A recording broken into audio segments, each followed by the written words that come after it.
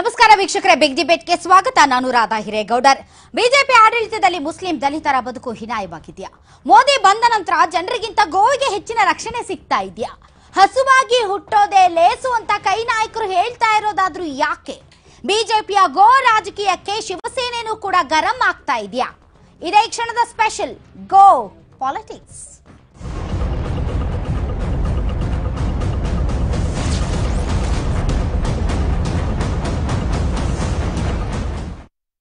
ಅದ್ಯಾಕೋ ಏನೋ ಗೊತ್ತಿಲ್ಲ. ಕೇಂದ್ರದ ಮಾಜಿ ಸಚಿವ ಶಶಿ ತರೂರ್ ದಿನಕ್ಕೊಂದು ಹೊಸ ಹೊಸ ವಿವಾದಾತ್ಮಕ ಹೇಳಿಕೆಗಳನ್ನ ಕೊಡ್ತಾ ಇದ್ದಾರೆ. ಹಿಂದೂ ತಾಲಿಬಾನಿಗಳು ಹಿಂದೂ ಭಯೋತ್ಪಾದನೆ ಅಂತ ಮಾತಾಡಿದವರು ಈಗ ಮತ್ತೆ ಬೇರೊಂದು ಸ್ಟೇಟ್ಮೆಂಟ್ ಅನ್ನ ಕೊಟ್ಟಿದ್ದಾರೆ. ಕಳೆದ ವಾರ ಅಷ್ಟೇ ಶಶಿ ತರೂರ್ ಎರಡ್ ಸಾವಿರದ ಹತ್ತೊಂಬತ್ತಕ್ಕೆ ಕೇಂದ್ರದಲ್ಲಿ ಮತ್ತೆ ಬಿಜೆಪಿ ಸರ್ಕಾರ ಏನಾದರೂ ಅಧಿಕಾರಕ್ಕೆ ಬಂದರೆ ಹಿಂದೂ ಪಾಕಿಸ್ತಾನವಾಗುತ್ತೆ ಅಂತ ವಿವಾದಾತ್ಮಕ ಹೇಳಿಕೆಯನ್ನ ಕೊಟ್ಟಿದ್ದಾರೆ. ಅಂದ್ರೆ ಮುಸ್ಲಿಂ ದೇಶ ಪಾಕಿಸ್ತಾನದ ತರ ಹಿಂದೂ ದೇಶ ಪಾಕಿಸ್ತಾನ ಆಗುತ್ತೆ ಅಂತ. ಪಾಕಿಸ್ತಾನವೇ ಆಗುತ್ತೆ ಅಂತ ಅಲ್ಲ. ಇನ್ನು ವ್ಯಾಪಕ ಚರ್ಚೆ ಹಾಗೂ ಬಿಜೆಪಿಯರ ಕೆಂಗಣ್ಣಿಗೂ ಕೂಡ ಇದು ಇದು ಗುರಿಯಾಗಿತ್ತು. ಈಗ ಅಂಥದ್ದೇ ಮತ್ತೊಂದು ಹೇಳಿಕೆಯನ್ನ ಈಗ ಶಶಿ ತರೂರ್ ಕೊಟ್ಟಿದ್ದಾರೆ. ಗೋವುಗಳಿಗೆ ಇರುವಷ್ಟು ರಕ್ಷಣೆ ಇಲ್ಲಿ ಮುಸಲ್ಮಾನರಿಗೆ ಇಲ್ಲ. ಹಾಗಾಗಿ ಮುಸಲ್ಮಾನರಾಗಿ ಹುಟ್ಟೋದಕ್ಕಿಂತ ಒಂದು ಗೋವಾಗಿ ಹುಟ್ಟೋದು ಲೇಸು ಅಂತ ಅಂದಿದ್ದಾರೆ. ಇವರು ಈ ರೀತಿಯಾದಂಥ ಹೇಳಿಕೆಯನ್ನು ಕೊಡೋದಕ್ಕೂ ಕೂಡ ಕಾರಣ ಇದೆ. ಬಿಕಾಸ್ ರಾಷ್ಟ್ರದಲ್ಲಿ ಈ ಗೋ ಸಂರಕ್ಷಣೆ ಮತ್ತು ಗೋಪಾಲಕರು ಅನ್ನೋ ಹೆಸರಿನ ಅಡಿಯಲ್ಲಿ ಅವರವರ ಅವರವರ ಆಹಾರದ ಹಕ್ಕನ್ನು ಕಸಿದುಕೊಳ್ಳುವ ಮತ್ತು ದೌರ್ಜನ್ಯವನ್ನು ಮಾಡುವಂತಹ ಪ್ರಕ್ರಿಯೆಗಳು, ಸಂಪ್ರದಾಯ ಮತ್ತು ಆ ರೀತಿಯ ಒಂದು ಹಿಂದುತ್ವ ಈಗ ಆರಂಭ ಆಗಿದೆ.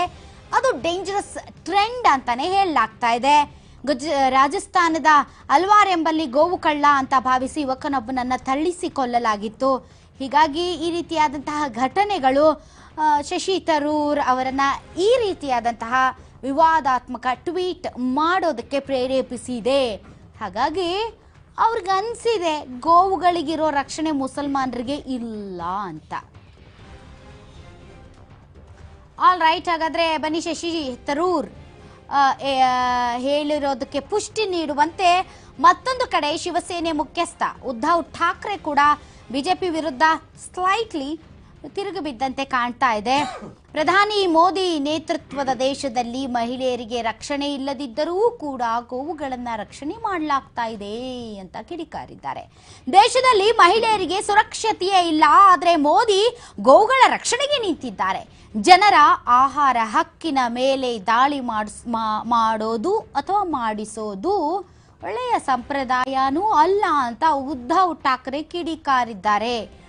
ಮೋಸ್ಟ್ಲಿ ಇತ್ತೀಚೆಗೆ ನಡೀತಾ ಇರುವಂತಹ ಬಿಜೆಪಿ ವರ್ಸಸ್ ಶಿವಸೇನೆಯ ನಡುವಿನ ಕೆಲವೊಂದು ಬೆಳವಣಿಗೆಗಳೇನಿವೆ, ಅವು ಉದ್ಧವ್ ಠಾಕ್ರೆ ಅವರನ್ನ ಈ ರೀತಿಯಾದಂತಹ ಹೇಳಿಕೆಗಳನ್ನು ಕೊಡೋದಕ್ಕೆ ಸ್ವಲ್ಪ ಫೋರ್ಸ್ ಮಾಡಿರಬಹುದು. ಆದರೆ ನಿಜಕ್ಕೂ ಕೂಡ ಶಿವಸೇನೆಯ ತತ್ವ ಸಿದ್ಧಾಂತವೇ ಇದಾ ಅನ್ನೋದು ನಂಗೆ ಸ್ವಲ್ಪ ಅನುಮಾನ ಇದ್ದಂಗಿದೆ. ಆಲ್ ರೈಟ್ ಈ ಎರಡು ಹೇಳಿಕೆಗಳಿಗೆ ಸಂಬಂಧಪಟ್ಟಂತೆ ಒಂದಂತೂ ಸ್ಪಷ್ಟವಾಗ್ತಾ ಇದೆ. ಎಸ್ ಗೋವುಗಳಿಗೆ ಇರುವ ರಕ್ಷಣೆ ಮನುಷ್ಯರಿಗೆ, ಹೆಣ್ಣು ಮಕ್ಕಳಿಗೆ ಇಲ್ವಾ ರಾಷ್ಟ್ರದಲ್ಲಿ? ಏನು ಮಾತಾಡ್ತಾ ಇದ್ದಾರೆ? ಆ ರೀತಿಯಾದಂತಹ ಘಟನೆಗಳು ರಾಷ್ಟ್ರದಲ್ಲಿ ನಡೀತಾ ಇದೆಯಾ? ಅಥವಾ ಇದು ತುಂಬಾ ಉತ್ಪ್ರೇಕ್ಷೆಯ ಮಾತುಗಳ? ಈ ಬಗ್ಗೆ ಮಾತನಾಡೋದಕ್ಕೆ ಅತಿಥಿಗಳು ನಮ್ಮೊಂದಿಗಿದ್ದಾರೆ. ಬನ್ನಿ, ಅವ್ರನ್ನ ವೆಲ್ಕಮ್ ಮಾಡೋಣ. ನಮ್ಮೊಂದಿಗೆ ಇದ್ದಾರೆ BJP sorry B S P B S P state president Hariram ಅವರು ತಮಗೆ ವಿಶೇಷ ಕಾರ್ಯಕ್ರಮಕ್ಕೆ ಸ್ವಾಗತ. ಪಿಎಫ್ಐ ರಾಜ್ಯಾಧ್ಯಕ್ಷರಾದಂಥ ಇಲಿಯಾಸ್ ತುಂಬೆ ತಮಗೂ ಕೂಡ ಸ್ವಾಗತ. ಇನ್ನು ಬಿಜೆಪಿ ವಕ್ತಾರರಾದಂತಹ ಚೀನಾರಾಮ್ ಅವರು ಸರ್ ತಮಗೂ ಸ್ವಾಗತ. ಇನ್ನು ನಮ್ಮೊಂದಿಗೆ ಆಧ್ಯಾತ್ಮಿಕ ಚಿಂತಕರಾದಂತಹ ಉಮೇಶ್ ಶರ್ಮಾ ಅವರಿದ್ದಾರೆ ಸರ್ ತಮಗೂ ಸ್ವಾಗತ. ಅದೇ ರೀತಿ ನಮ್ಮೊಂದಿಗೆ ಕಾಂಗ್ರೆಸ್ನ ಹಿರಿಯ ನಾಯಕರು ವಕ್ತಾರರು ಪ್ರೊಫೆಸರ್ ರಾಧಾಕೃಷ್ಣ ಸರ್ ತಮಗೆ ವಿಶೇಷ ಕಾರ್ಯಕ್ರಮಕ್ಕೆ ಸ್ವಾಗತ. ಮೊದಲನೇ ಇದಾಗಿ ಚೀನಾರಾಮ್ ಅವರೇ. ಏನ್ ಹೇಳ್ತೀರಾ ಶಶಿ ತರೂರ್ ಅವರ ಸ್ಟೇಟ್ಮೆಂಟ್ಗೆ ಶಶಿ ತರೂರ್ ಅವರು ಯಾವಾಗ ಅವರ ಮೈ ಮೇಲೆ ಕ್ರಿಮಿನಲ್ ಅಪಾದನೆಗಳು ಬರ್ತಾವೋ ಆ ಆಪಾದನೆಗಳನ್ನ ಮುಚ್ಕೊಳ್ಳೋದಕ್ಕೆ ಒಂದೊಂದು ಸುಳ್ಳು ಸುಳ್ಳು ಸ್ಟೇಟ್ಮೆಂಟ್ ಕೊಡೋ ಮುಖಾಂತರ ಇತ್ತೀಚೆಗೆ ಅವರ ಶ್ರೀ ಶ್ರೀಮತಿ ಎರಡನೇ ಶ್ರೀಮತಿ ಅವರ ಮೇಲೆ ಏನು ಕೊಲೆ ಆರೋಪ ಅವ್ರ ಮೇಲೆ ಬಂದಿತ್ತು ಬೇಲ್ ತಗೊಂಡು ಈಚೆ ಬಂದಿದ್ದಾರೆ ಒಂದು ವಾರಕ್ಕಿಂದೆ ಅವ್ರು ಆಗಿಂದಾಗಿಂತ ವಿವಾದಾತ್ಮಕ ಹೇಳಿಕೆ ಕೊಡೋ ಉದ್ದೇಶ ಏನಂದ್ರೆ ತನ್ನ ವೈಯಕ್ತಿಕ ವರ್ಚಸ್ಸು ಎಲ್ಲೋ ಬಿಗಡಾಯಿಸ್ತಾ ಇದೆ. ಆ ಬಿಗಡಾಯಿಸುವ ಸಂದರ್ಭದಲ್ಲಿ ಯಾವುದೋ ದೇಶದ ವಿಚಾರ ತಗೊಂಡು ಯಾವುದೋ ಒಂದು ಈ ತರ ಒಂದು ವಿಡಂಬಾತ್ಮಕ ಹೇಳಿಕೆಗಳನ್ನು ಕೊಡೋ ಮುಖಾಂತರವಾಗಿ ಈ ದೇಶವನ್ನ ನಾನು ಪರ್ಸನಲ್ ಆದ್ರೂ ಇದು ಸಾಮಾಜಿಕ ವಿಚಾರ ಕಳಕಳಿ. ಅವ್ರಿಗೆ ಅವ್ರು ಬೇಲ್ ಮೇಲೆ ಇದಾರೆ ಶಶಿ ತರೂರ್ ಬಗ್ಗೆ ನಾವಿಲ್ಲಿ ಚರ್ಚೆ ಮಾಡ್ತಾ ಇಲ್ಲ. ಶಶಿ ತರೂರ್ ಅವರ ಹೇಳಿಕೆ. ಅವರ ಹೇಳಿಕೆ ಈ ತರದ ದಿಕ್ ಜನರ ದಿಕ್ ತಪ್ಪಿಸೋದಕ್ಕೆ ದೇಶದ ದಿಕ್ ತಪ್ಸೋದಕ್ಕೆ ಈ ತರ ಹೇಳಿಕೆ ಕೊಡ್ತಾರೆ. ಅಲ್ಲ ದಿಕ್ಕು ಏನ್ ತಪ್ತಾ ಇದೆ ಇವತ್ತು ದೇಶದಲ್ಲಿ ಇವತ್ತು ದಲಿತರಿಗೆ ಅನ್ಯಾಯ ಆಗ್ತಾ ಇದೆ ಮುಸಲ್ಮಾನರಿಗೆ ಅನ್ಯಾಯ ಆಗ್ತಾ ಇದೆ ಗೋವಾ ಗುಟ್ಟಬೇಕಾಗಿತ್ತು ಅಂತಕ್ಕಂಥ ಮಾತು ಆಡೋದ್ರಿಂದ ಈ ಜನರನ್ನ ಇವರು ಏನಂತ ತಿಳ್ಕೊಂಡಿದ್ದಾರೆ? ಹಂಗಿದ್ರೆ ಮುಸಲ್ಮಾನರು ಗೋವುಗಳ ಸಮಾನ ಗೋಗಳ ಹುಟ್ಟಿದ್ರೆ ಸಮಾನ ಅದು ಮನುಷ್ಯರು ಅನ್ನೋದಕ್ಕೆ ಗೌರವನೇ ಇಲ್ವಾ? ಅದನ್ನೇ ಅವ್ರು ನಿಮ್ ಕೇಳ್ತಾ ಇರೋದು. ಅಲ್ಲ ಗೌರವ ಇದೆ. ಅದು ಆ ಪ್ರಶ್ನೆ ಅವ್ರು ನಿಮ್ಮನ್ನ ಕೇಳ್ತಾರೆ ಮತ್ತೆ ನೀವು ಅದೇ ಪ್ರಶ್ನೆಗೆ ಪ್ರಶ್ನೆ ಉತ್ತರ ಗೌರವ ಯಾಕಿಲ್ಲ ಅವ್ರಿಗೆ? ಗೌರವ ಯಾರು ಕೊಟ್ಟಿಲ್ಲ ಅಂತ ಹೇಳ್ತಾರೆ ಯಾರು Okay. ಯಾರು ಹೇಳಿದ್ರು ಕೊಟ್ಟಿಲ್ಲ ಅಂತ? ಓಕೆ ಇದನ್ನ ಮುಸಲ್ಮಾನರನ್ನ ಎಳೆಕೊಂಡ್ಬಂದು ಅಲ್ಲಿ ಕೂಡ ಉದಾಹರಣೆಗೆ ಚಿನಾರಾಮ್ ಅವರೇ ನಾನೊಂದು ಒಂದ್ ಒಂದು ಒಂದು ಒಂದು ಪ್ರಶ್ನೆನ ನಿಮ್ಮ ಮುಂದೆ ಇಡ್ತೀನಿ ಗೋಮಾಂಸ ತಿನ್ನುವ ಒಬ್ಬ ದಲಿತ ಅವ್ರ ಮುಸಲ್ಮಾನ ಒಂದು ಕಡೆ. ಇನ್ನೊಂದು ಕಡೆ ಒಂದು ಗೋ ಉದಾಹರಣೆಗೆ ಕಲ್ಪ ನಿಮ್ಮ ಜಸ್ಟ್ ಇಮ್ಯಾಜಿನ್ ಒಂದು ಗೋ ಅಥವಾ ಒಂದು ಒಂದು ನಿಮ್ಮ ಎರಡು ನಿಮ್ಮ ಕಣ್ಮುಂದೆ ಇದೆ. This man wants to eat that ಅದನ್ನು ಕೊಂದು ತಿನ್ನಬೇಕು ಅಂತ ಇದ್ದಾರೆ. ನೀವು ಯಾರನ್ನ ಸೇವ್ ಮಾಡ್ತೀರಾ? ಅಲ್ಲ ಈಗ ಬಾಬಾ ಸಾಹೇಬ್ ಅಂಬೇಡ್ಕರ್ ಸಂವಿಧಾನ ಬರೆಯುವಾಗ ಒಂದು ಸ್ಪಷ್ಟವಾದಂತ ಮಾತನ್ನ ಹೇಳಿದರು ಗೋವುಗಳ ರಕ್ಷಣೆ ಆಗ್ಲೇಬೇಕು. ಯಾಕೆ ಗೋವುಗಳ ರಕ್ಷಣೆ ಆಗ್ಬೇಕಂದ್ರೆ ಹಳ್ಳಿಗಳಲ್ಲಿ ಇವತ್ತು ರೈತ ಸಾಲ ಮನ್ನಾ ಅಂತ ಮಾತಾಡ್ತಾರೆ. ರೈತರ ಹತ್ರ ಕೆಲಸ ಮಾಡೋ ಖುಷಿ ಕೂಲಿ ಕಾರ್ಮಿಕರ ಬಗ್ಗೆ ಯಾರು ಯೋಚನೆ ಮಾಡ್ತಾ ಇಲ್ಲ? ಸೊ ಆ ಗೋವನ್ನ ರಕ್ಷಣೆ ಮಾಡೋದಕ್ಕೆ ನೀವು ಆ ರಕ್ಷಣೆ ಮಾಡೋ- ಮನುಷ್ಯನನ್ನ ಹೊಡೆದ್ ಅಲ್ಲ ಗೋವುಗಳನ್ನ ಅಲ್ಲಿ ಹೊಡೆದಿರೋದಕ್ಕೆ ಯಾರು ತಪ್ಪು ಮಾಡಿದ್ರೆ ಅವ್ರ ಮೇಲೆ ಜೈಲ್? ಯಾರೋ ಕ್ರಿಮಿನಲ್ ಚಟುವಟಿಕೆ ಮಾಡಿರ್ತಕ್ಕಂತ ವ್ಯಕ್ತಿಗಳ ಮೇಲೆ ಬಲವಾದ ಕಾನೂನನ್ನ ಬಳಸಿ ಕಠಿಣವಾದ ಕ್ರಮ ತಗೊಳ್ಳೋದಕ್ಕೆ ಅದೇ ಆಗ್ತಾ ಇರೋದು ನಾನ್ ಕೊಟ್ಟಿರುವಂತಹ ಇದು ಎಕ್ಸಾಂಪಲ್ ಇದೆಯಲ್ಲ ಅದು ತುಂಬಾನೇ ನಾ ಎಕ್ಸಾಗ್ರೇಷನ್ ತರ ಅನ್ನಿಸ್ಬಹುದು. ಇಲ್ಲ ಅಂತ ನಾನು ಹೇಳಿಲ್ಲ ಅದು ಸರಿಯಾದಂತ ಕಂಪ್ಯಾರಿಸನ್ ಆಗದೆ ಇರಬಹುದು ಆದರೆ ಆ ರೀತಿಯಾದಂತಹ ಘಟನೆಗಳು ಈಗ ಸದ್ಯ ರಾಷ್ಟ್ರದಲ್ಲಿ ನಡೀತಾ ಇದೆ. ನೀವು ಒಂದು ಗೋವನ್ನ ರಕ್ಷಿಸೋದಕ್ಕೆ ಒಬ್ಬ ಮನುಷ್ಯನನ್ನ ಕೊಲ್ತಾ ಇದ್ದೀರಾ? ಬಿಕಾಸ್ ಆತ ಗೋಮಾಂಸವನ್ನ ತನ್ನ ಫ್ರೀಜರ್ ಅಲ್ಲಿ ಇಟ್ಕೊಂಡಿದ್ದ. ಬಿಕಾಸ್ ಆತ ಏನೋ, ಗೋಮಾಂಸ ಸಾಗಿಸ್ತಾ ಇದ್ದ. ಬಿಕಾಸ್ ಆತ ಗೋವುಗಳನ್ನ ಲಾರಿಯಲ್ಲಿ ಎತ್ತಾಕೊಂಡು ಹೋಗ್ತಾ ಇದ್ದ. ಹಾಗೆ ನಡೀತಾ ಇರೋದು. ನರೇಂದ್ರ ಮೋದಿ ಅವರು ಒಂದ್ಸರಿ ಹೇಳಿಕೆ ಕೊಡುವಾಗ ಹೇಳಿದ್ರು ಯಾವುದೇ ಕಾರಣಕ್ಕೂ ಈ ತರ ಘಟನೆಗಳನ್ನ ಕೈಗೆತ್ಕೊಳ್ಳೋದು ತಪ್ಪು ಅವ್ರ ಮೇಲೆ ಕಠಿಣ ಕ್ರಮಗಳನ್ನ ಸನ್ಮಾನ ಮಾಡ್ತಾರೆ ಜನರಿಗೆ. ಸನ್ಮಾನ ಮಾಡ್ತಾರೆ ಸರ್. ಸನ್ಮಾನ ಮಾಡ್ತಾರೆ ಅದಕ್ಕೆ ನಮ್ಮ ಪಕ್ಷದ ಕಾರಣ ನಿಮ್ ಅಲ್ಲ. ಪಕ್ಷನೇ? ನಿಮ್ ಪಕ್ಷ ಮಂತ್ರಿಗಳೇ? ಕ್ಯಾಬಿನೆಟ್ ಮಿನಿಸ್ಟರ್ ಮಂತ್ರಿಗಳು ಯಾರು ತಪ್ಪು ಮಾಡಿದ್ರು ಅದು ತಪ್ಪೇ. ಯಾವ ಯಾವ ಉದ್ದೇಶಕ್ಕೆ ಅವರು ಸನ್ಮಾನ ಮಾಡಿದ್ರು ಅಂತ ನಾನು ಸರ್ ಬಗ್ಗೆ ಇವತ್ತಿನ subject you are wrong person ನಾನು ನಿಮ್ ಜಾಸ್ತಿ ಎಂಬ್ರೆಸ್ ಮಾಡೋದಕ್ಕೆ ಇಷ್ಟಪಡಲ್ಲ. ಹರಿರಾಮ್ ಅವರೇ. ಏನ್ ಹೇಳ್ತೀರಿ? ನನ್ ಶಶಿ ತರೂರ್ ಅವರ ಸ್ಟೇಟ್ಮೆಂಟ್ ಗೋವುಗಳಾಗಿ ಹುಟ್ಟೋದು ಮುಸಲ್ಮಾನರಾಗಿ ಹುಟ್ಟೋದಕ್ಕಿಂತ ಗೋವುಗಳಾಗಿ ಹುಟ್ಟಿದ್ರೆ ಜಾಸ್ತಿ ಸೆಕ್ಯೂರಿಟಿ ಇರ್ತಾ ಇತ್ತು ಅಂತ. ಹಾಗಂತ ನಮ್ಮ ನಮ್ಮ ರಾಷ್ಟ್ರದಲ್ಲಿ ಮುಸಲ್ಮಾನರೆಲ್ಲರೂ ಕೂಡ ಗೋವಿಗಿಂತ ಕನಿಷ್ಠವಾಗಿ ಜೀವನ ಮಾಡ್ತಾ ಇದ್ದಾರೆ ಇಂತ ಮೆಸೇಜ್ ಪಾಸ್ ಮಾಡ್ತಾ ಇದ್ದಾರೆ. ವಾಟ್ ಈಸ್ ದಿಸ್ ಅಂತ? ಒಂದು ಶಶಿ ತರೂರ್ ಅವರ ಒಂದು ಸ್ಟೇಟ್ಮೆಂಟ್ ನೋಡಿದ ಸಂದರ್ಭದಲ್ಲಿ. ರಾಜಕಾರಣವನ್ನು ಒಂದು ಕಡೆ ಪಕ್ಕಕ್ಕಿಟ್ಟಾಗ. ನಾವು ಇಡೀ ದೇಶದ ಸಾಮಾನ್ಯ ಜನರ ಅಭಿಪ್ರಾಯವನ್ನ ಮತ್ತು ಈ ದೇಶದಲ್ಲಿ ಕಳೆದ ನಾಲ್ಕು ವರ್ಷಗಳಿಂದ ನಡ್ಕೊಂಡ್ ಬಂದಿರತಕ್ಕಂಥ ಏನೇನು ಆಗೋ ಹೋಗುಗಳಿದಾವೆ ಅದೆಲ್ಲವನ್ನು ನೋಡಿದಾಗ ಖಂಡಿತವಾಗ್ಲೂ ಕೂಡ ಶಶಿ ತರೂರ್ ಹೇಳ್ತಕ್ಕಂತ ಒಂದು ಆ ಒಂದು ಕಂಪ್ಯಾರಿಸನ್ ಏನಿದೆ ಅದು ಸರಿ ಅಂತ ಅನ್ಸುತ್ತೆ. ಅಲ್ಲ ನಾನು ಐ ಆಮ್ ನಾಟ್ ನಾನು ಕಂಪ್ಯಾರಿಸನ್ ಸರಿನೋ ತಪ್ಪೋ ಹೇಳ್ತಾ ಇಲ್ಲ. I am asking fact fact ಆ ರೀತಿ ಇದೆಯಾ? ಇಲಿಯಾಸ್ ತುಂಬೆ ಅವರೇ ನಿಮ್ಗೆ ಇಲ್ಲ, ಇಲ್ಲ ಇಲ್ಲ ಇಲ್ಲ ನಾನು ಅವ್ರನ್ನ ಮಾತಾಡ್ಸಿ ನಾನು ನಿಮ್ಗೆ ಕೊಡ್ತೀನಿ chance I am just asking ನಿಮ್ ಒಂದು ಸ್ಮಾಲ್ ಕ್ವಶನ್ ನೀವು ಭಯದಿಂದ ಜೀವನ ಮಾಡ್ತಾ ಬಿ ಫ್ರೈ ನೀವು ಭಯದಿಂದ ಜೀವನ ಮಾಡ್ತಾ ಇದ್ದೀರಾ? ನಿಜ ಹೇಳಬೇಕಾದ್ರೆ ಇಡೀ ದೇಶದಲ್ಲಿ ಒಂದು ಭಯ ನೋ ಇಡೀ ದೇಶ I am asking only Iliyas Thumbe ಹೌದು. ನೀವೊಬ್ಬ ಪಿ ಎಫ್ ಐ ಎನ್ನುವಂತಹ ಒಂದು ಆ, ಸಂಘಟನೆಯ ರಾಜ್ಯಾಧ್ಯಕ್ಷರು. ನೀವು ಭಯದಿಂದ ಜೀವ ಹೌದಾ sir? SDPA. I am sorry S D P ನಾನು ಪಿ ಎಫ್ ಐ ಅಂತ ಬರ್ಕೊಂಡಿದ್ದೆ. ಸರಿ. ಸೊ ತಾವು ಭಯದಿಂದ ಜೀವನ ಮಾಡ್ತಾರೆ ಬಿ ಫ್ರ್ಯಾಂಕ್ ಒಬ್ಬ ಎಸ್ ಡಿ ಪಿ ಕಾರ್ಯಕರ್ತನಾಗಿ ಖಂಡಿತ ನನಗೆ ಭಯ ಇಲ್ಲ. ಯಾಕಂದ್ರೆ ಆದ್ರೆ ಇಡೀ ದೇಶದಲ್ಲಿ ನಾನು ಇಡೀ ದೇಶದಲ್ಲಿ ನಿಮ್ಗೆ. ಇಡೀ ದೇಶದ ಸುತ್ತಾಡಿಕೊಂಡು ಬಂದಿದ್ದೇನೆ. ತುಂಬೆ ಅವರು ನಿಮ್ ಯಾವ ಭಯ ಯಾಕೆಂದ್ರೆ ನಮ್ಮ- ನಮ್ಮ ನಿಮ್ಗೆ ಭಯದ ವಾತಾವರಣ ನಿಮ್ಗಿಲ್ವಾ ನನ್ಗಿಲ್ಲ. ಇಲ್ಲಿ ನಿಮ್ಮ ಸುತ್ತಮುತ್ತ ಯಾವ ಏರಿಯಾದಲ್ಲಿ ಇಡೀ ಯಾವ ಏರಿಯಾದಲ್ಲಿ ಸರ್ ನಾನು? ಇಡೀ ದೇಶಕ್ಕೆ ನೀವು ಯಾವ ಏರಿಯಾದಲ್ಲಿ ಸರಿ ಇರೋದು? ನಾನು ಈಗ ಕರ್ನಾಟಕದಲ್ಲಿ. ಕರ್ನಾಟಕದಲ್ಲಿ ಯಾವ ಏರಿಯಾದಲ್ಲಿ ಇದ್ದೀರಾ? ಯಾವ ಏರಿಯಾ ಅಂದ್ರೆ? ಐ ಮೀನ್ ಎಲ್ಲಿ ಇರ್ತೀನಿ ನಾನ್ ಚಾಮರಾಜಪೇಟೆ ನೀವ್ ಯಾವ ಏರಿಯಾ ಬೆಂಗಳೂರಲ್ಲಿ ಇದ್ದೀನಿ. ಯಾವ ಬೆಂಗಳೂರಲ್ಲಿ ಯಾವ ಏರಿಯಾ ಸರ್ ಬೆಂಗಳೂರಲ್ಲಿ ನಮ್ಗೆ ಗೊತ್ತಿಲ್ವಾ?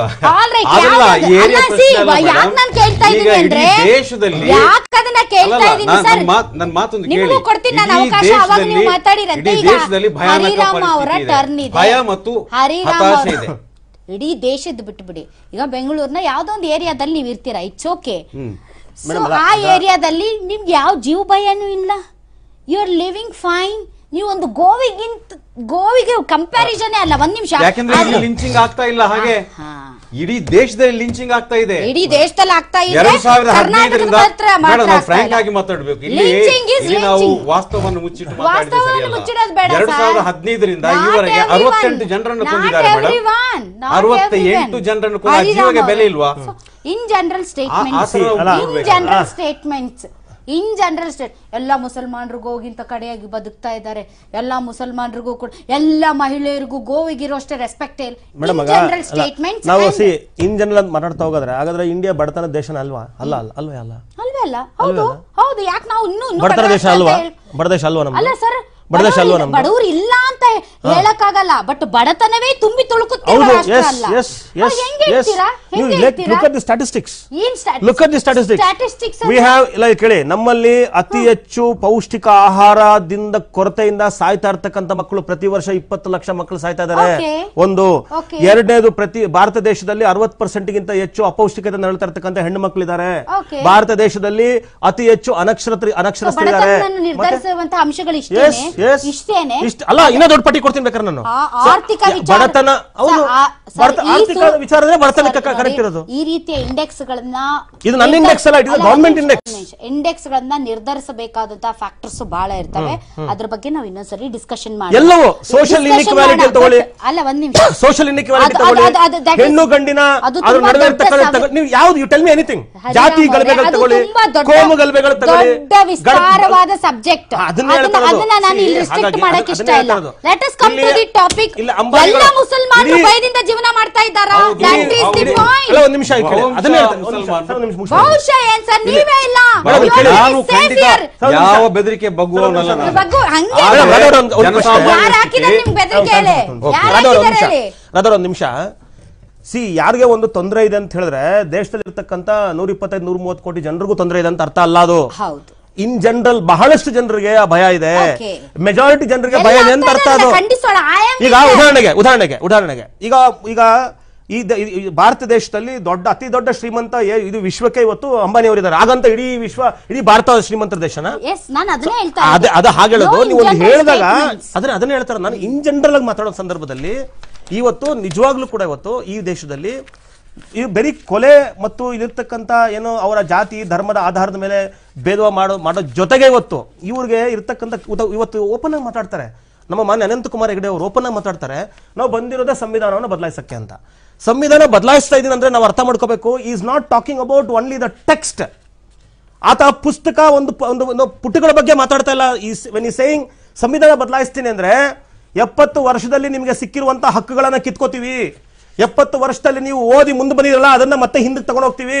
ಈಗ ನಿಮಗೆ ವಾಕ್ ಸ್ವಾತಂತ್ರ್ಯ ಇದೆ ಅದನ್ನ ವಾಪಸ್ ಕಿತ್ಕೋತೀವಿ. ಇಲ್ಲಿ ಹೆಣ್ಣು ಗಂಡಿನ ತಾರತಮ್ಯ ಬದಲಾಗಿದಿಲ್ಲ ಅದನ್ನ ವಾಪಸ್ ಕಿತ್ಕೋತೀವಿ. This is what it means. Text ಬದಲಾವಣೆ ಮಾಡೋದಲ್ಲ ಸಂವಿಧಾನ ಕಿತ್ತಾಕ್ತೀನಿ ಅಂತ ಹೇಳಿದ್ರೆ. ಅರ್ಥ ಆಗಲ್ಲ ಕೆಲವು ಸಾಂದರ್ಭಿಕವಾಗಿ ತಿದ್ದುಪಡಿ ಮಾಡೋದಕ್ಕೆ ಬಾಬಾ ಸಾಹೇಬ್ ಅಂಬೇಡ್ಕರ್ ತಿದ್ದುಪಡಿಗೂ ಬದಲಾವಣೆಗೂ ವ್ಯತ್ಯಾಸ ಇದೆ. ನಾಲ್ಕು ತಿದ್ದುಪಡಿಗಳನ್ನ ತಿದ್ದುಪಡಿ ರಾಮ ಅವರು ಮಾತಾಡಿ. ಅವರು ಅರ್ಥ ಮಾಡ್ಕೋಬೇಕು ಹಲೋ ಸರ್. ತಿದ್ದುಪಡಿಗಳಾಗಿದ್ದಾರೆ. ನೀವು ತಿದ್ದುಪಡಿಗೂ ಬದಲಾವಣೆಗೂ ವ್ಯತ್ಯಾಸ ಇದೆ ದಯವಿಟ್ಟು ಅವ್ರನ್ನ ಪಾರ್ಲಿಮೆಂಟ್ ದಯವಿಟ್ಟು ಅರ್ಥ ಮಾಡ್ಕೊಳ್ಳಿ. ಅದನ್ನ ತಿದ್ದುಪಡಿಗೂ ಬದಲಾವಣೆಗೂ ವ್ಯತ್ಯಾಸ ಗೊತ್ತಿಲ್ಲ ಅವರಿಗೆ. ತಿದ್ದುಪಡಿ ಅಂತ ತಿದ್ದುಪಡಿ ಅಲ್ಲ. ಇವ್ರು ತಿದ್ದುಪಡಿಗೂ ಬದಲಾವಣೆಗೂ ವ್ಯತ್ಯಾಸ ಬಿಜೆಪಿ ಅವ್ರ ಮಾತನ್ನು ನೀವು ಹಂಗ ಬಂದ್ರೆ ಕ್ಷಮೆ ಕೇಳಿದ್ದಾರೆ ಪಾರ್ಲಿಮೆಂಟ್ ಅಲ್ಲಿ ನೀವು ಆಯ್ತು ಹಂಗ ಬಂದ್ರೆ ಕಾಂಗ್ರೆಸ್ ಅವ್ರು ಮಾಡಿದ ನೀವು ಯಾರು ಅದನ್ನ ವಿಷಯ ಯಾಕೆ ಇವತ್ತು ದೇಶ ದುರಂತದಲ್ಲಿ ಅದನ್ನ ಹೇಳ್ತಾ ಇರೋದು ಸಂವಿಧಾನವನ್ನ ಬದಲಾಯಿಸ್ತೀನಿ ಅಂತ ಹೇಳ್ತಾ. ಇರ್ತಕ್ಕಂಥವ್ರು. ಪ್ರೊಫೆಸರ್ ರಾಧಾಕೃಷ್ಣ ಅವರು. ಸರ್ ಈಗ ಆ, ಗೋವುಗಳಿಗೆ ಇರುವಂತಹ ಇದು ಗೋವುಗಳಾಗಿ ಸಾರಿ ಮುಸ್ಲಿಮರಾಗಿ ಹುಟ್ಟೋದಕ್ಕಿಂತ ಗೋವುಗಳಾಗಿ ಹುಟ್ಟಿದ್ರೆ ಚೆನ್ನಾಗಿರ್ತಿತ್ತು ಅಂತ ಶಶಿ ತರೂರ್. ಬಟ್ ಉದ್ಧವ್ ಠಾಕ್ರೆ ಅವರು ಒಂದು ಮಾತನ್ನ ಹೇಳ್ತಾರೆ. ನಾವು ಮಹಿಳೆಯರಿಗೆ ಭದ್ರತೆ ಅಥವಾ ಮಹಿಳೆಯರಿಗೆ ನಾವು ಸುರಕ್ಷ ಸುರಕ್ಷ ರಕ್ಷಣೆ ಕೊಡೋಕ್ಕಾಗ್ತಾ ಇಲ್ಲ. ನಾವು ಗೋಗಳ ರಕ್ಷಣೆ ಬಗ್ಗೆ ಮಾತಾಡ್ತೀವಿ ಅಂತ ಅವ್ರು ಹೇಳ್ತಾರೆ. ಸೊ ಏನ್ ಹೇಳ್ತೀರಿ? ಸ್ವಲ್ಪ ಗದ್ದಲ ಕಮ್ಮಿ ಆದ್ರೆ ನಾನು ನನ್ನ ಅದಕ್ಕೆ ನಿಮ್ಗೆ ನನ್ನ- ವಾದವನ್ನು ಮಂಡಿಸ್ತೇನೆ ಓಕೆ.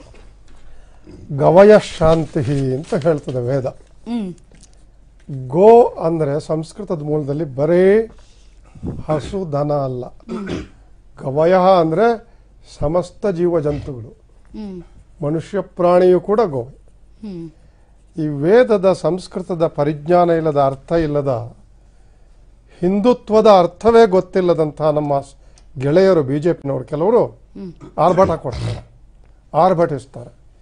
ಏನು ಆರ್ಭಟಿಸ್ತಾರೆ ಅಂದರೆ ಮೇಘಾಲಯದಲ್ಲಿ ನಾಗಾಲ್ಯಾಂಡ್ನಲ್ಲಿ ಕೇರಳದಲ್ಲಿ ಬೀಫ್ ಪಾಲಿಟಿಕ್ಸ್ ಇಲ್ಲ. ಅವ್ರು ಯೂಸ್ ಮಾಡಿರೋ ಗೋವಾದಲ್ಲಿ ಅವ್ರು ಯೂಸ್ ಮಾಡಿರೋ ವರ್ಡ್ ಬೀಫ್ ಪಾಲಿಟಿಕ್ಸ್ ಹೌದು.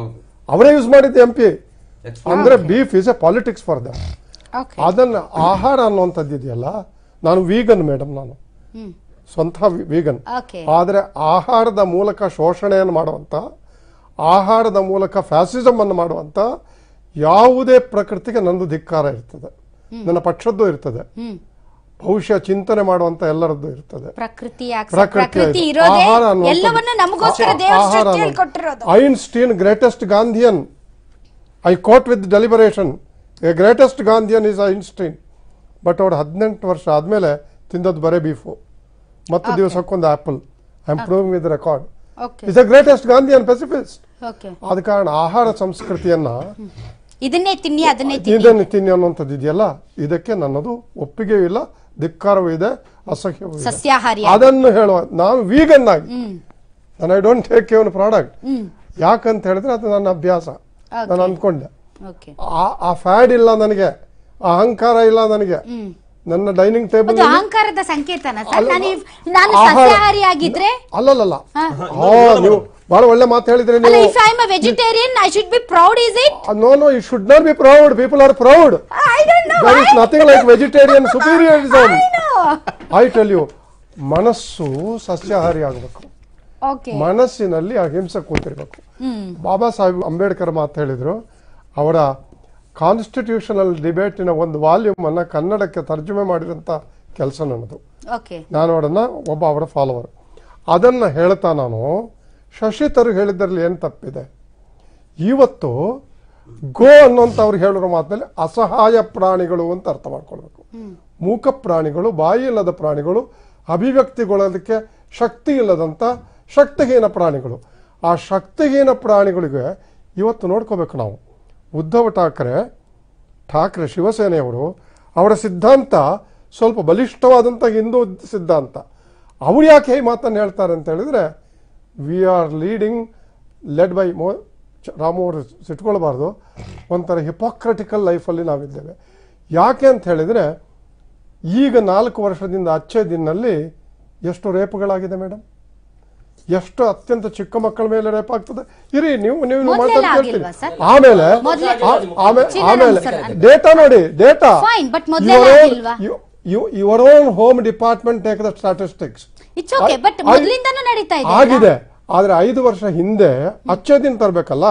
ಅಚ್ಚೆ ದಿನಗಿಂತ ಮೊದಲು ಅಚ್ಚೆ ದಿನ ಬಂದ ಮೇಲೆ ಸ್ಟಾಟಿಸ್ಟಿಕಲ್ ಕ್ವಾಂಟಮ್ ಮೊದ್ಲು ಅಚ್ಚೆ ದಿನ ಇರ್ಲಿಲ್ಲ ಅಚ್ಚೆ ದಿನ ತರ್ತೀನಿ ಅಂತ ಬಂದ ಮೇಲೆ ಅಚ್ಚೆ ದಿನ ಎರಡನೇ ವಿಷಯ. ಯಾಕೆ ಬರೇ ಮುಸಲ್ಮಾನರು ಮಾತ್ರ ಹಲ್ಲೆಗೊಳಗಾಗ್ತಾರೆ? ಐನೂರು ಆರ್ನೂರು ಸಾವಿರ ವರ್ಷದ ದಲಿತರ ಮೊನ್ನೆ ಬೀದರ್ನಲ್ಲಿ lies and lynching nothing else lies and lynching. Lynching ಅನ್ನೋದಕ್ಕೆ ಭಾರತೀಯ ಪರಿಭಾಷೆಗಳಲ್ಲಿ ಯಾವುದೇ ಭಾಷೆಯಲ್ಲಿ ಪದವೇ ಇಲ್ಲ ಯಾಕೆ ಗೊತ್ತಾ? Lynching is strange it was lynching was a punishment in the western clannish society ಕಲ್ಲೊಡೆದು ಕೊಲ್ಲುವಂಥದ್ದು ಚೌಕಿಗಳಲ್ಲಿ. ನಮಗೆ ಹಾಗಾಗುವಾಗ ಕಾನೂನನ್ನ ಕೈಗೆ ತಗೊಳ್ಳೋದು. ಹಾಗ- ಹಾಗಾಗುವಾಗ ಸಮಥಿಂಗ್ ಲೈಕ್ ದಟ್ ನಮಗೆ ಹೃದಯ ಬೇಡ ಕರಳು ಬೇಡವೆ?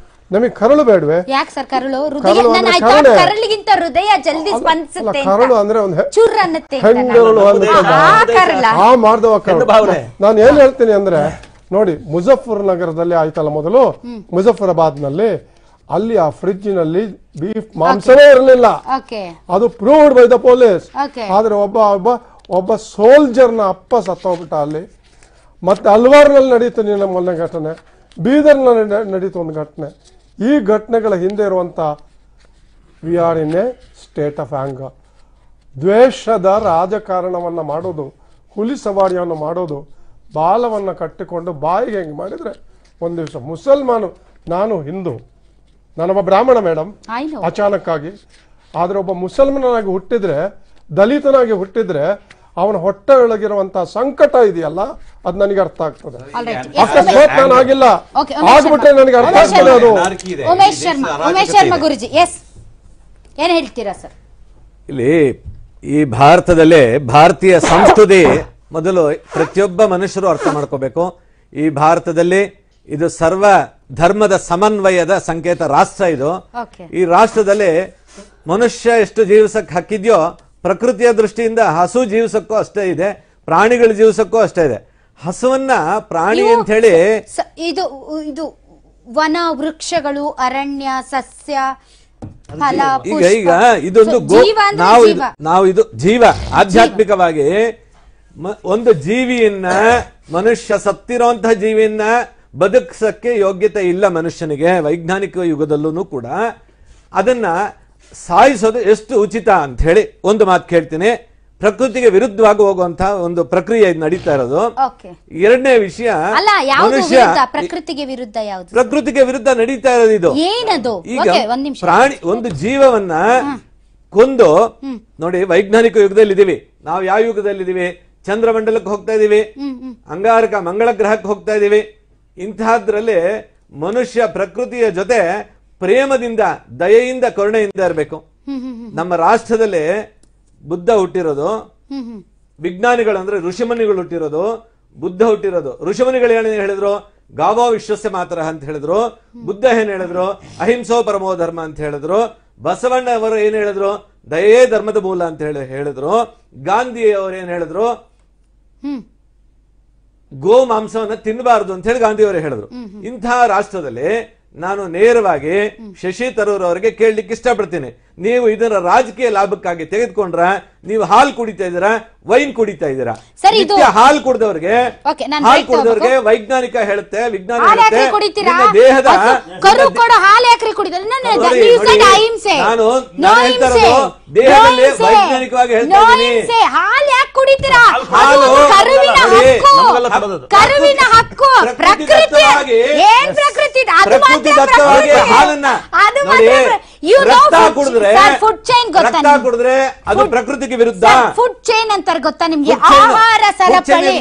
ಮನುಷ್ಯ ಆಹಾರ ಸರಪಳಿ. ವೈಜ್ಞಾನಿಕವಾಗಿ ಹೇಳ್ತೀನಿ. ಮನುಷ್ಯನ ದೇಹ ವೈಜ್ಞಾನಿಕವಾಗಿ ರಚನೆ ಆಹಾರ ಆಗಿದೆ ಸರಪಳಿ. ಮನುಷ್ಯನ ದೇಹ ರಚನೆ ಆಗಿದೆ ಒಂದು ಸಿಂಹ ಒಂದು ಕುರಿಯನ್ನ ಅಥವಾ ಒಂದು ಹಸುವನ್ನ ಒಂದು ಎಮ್ಮೆಯನ್ನ ತಿನ್ನುತ್ತೆ. ಮನುಷ್ಯನ ದೇಹ ರಚನೆ ವಿಜ್ಞಾನಿಗಳ ವಿಜ್ಞಾನ ಯುಗದಲ್ಲಿದ್ದೀವಿ. ಅದನ್ನ ಕೇಳಿ ತಿಳ್ಕೊಳ್ಳಿ ವಿಜ್ಞಾನಿಗಳ ಹತ್ರ. ಮೂಲಭೂತವಾಗಿ ಮನುಷ್ಯರು. ಮೂಲಭೂತ? ಈಗ ವಿಜ್ಞಾನ ಯುಗಕ್ಕೆ ಹೋಗಿದೀವಿ ಅದೇ ರೀತಿ ನೀವು ಮನುಷ್ಯರನ್ನ ಇಡ್ಲಿಕ್ಕೆ ನೋಡ್ತೀರಾ ಅದೇ ರೀತಿ? ಈಗ- ನೀವು ಅದೇ ರೀತಿ ಇಡ್ಲಿಕ್ಕೆ ಯಾಕೆ ನೋಡ್ತೀರ ಮನುಷ್ಯನ ಅಲ್ಲ ಈಗ ವಿಜ್ಞಾನ ಅಲ್ಲ. ಅಲ್ಲ ಮನುಷ್ಯರನ್ನ ಕೊಲೆ ಮಾಡೋದು ಧರ್ಮ. ನೋಡಿ ನಾನು ಹೇಳ್ತಾ ಇರೋದು. ಮನುಷ್ಯ ಕೊಂದ್ರು ಮನುಷ್ಯನ ತಪ್ಪೆ ಗೋವನ್ನು ಕೊಂದ್ರು ತಪ್ಪೆ. ಪ್ರಾಣಿಗಳ ಕೊಂದ್ರು ತಪ್ಪೆ. ಅದೇ ನಾಯಿನ ಕೊಂದ್ ನಾಯಿನ ಹಿಡ್ಕೊಂಡು ಕೊಂದ್ರೆ ನಾಯಿ ಪ್ರೇಮಿಗಳು ಏನ್ ಮಾಡ್ತಾರೆ? ದೊಡ್ಡದಾಗಿ ಗಲಾಟೆ ಆಗುತ್ತೆ. ಈಗ- ಅದೇ ಹಸುವನ್ನ ಕೊಂದ್ರೆ. ಯಾಕೆ ಇಲ್ಲಿ?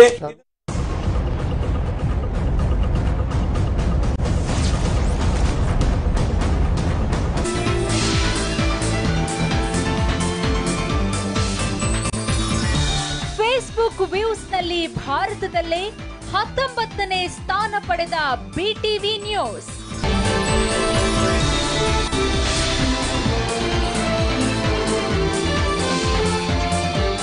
ಇದುವರೆಗೂ ಕರ್ನಾಟಕದ ಯಾವುದೇ ನ್ಯೂಸ್ ಚಾನೆಲ್ಗೂ ಸಿಕ್ಕಿಲ್ಲ ಈ ಮನ್ನಣೆ.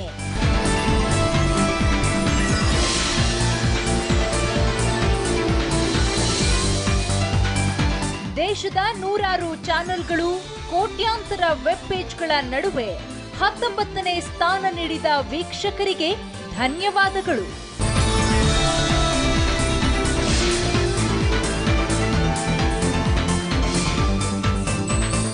ಫೇಸ್ಬುಕ್ನಲ್ಲಿ ಬಿಟಿವಿ ವೀಕ್ಷಿಸ್ತಾ ಇರೋ ಕೋಟಿ ಕೋಟಿ ಜನತೆಗೆ ನಮ್ಮ ನಮನ.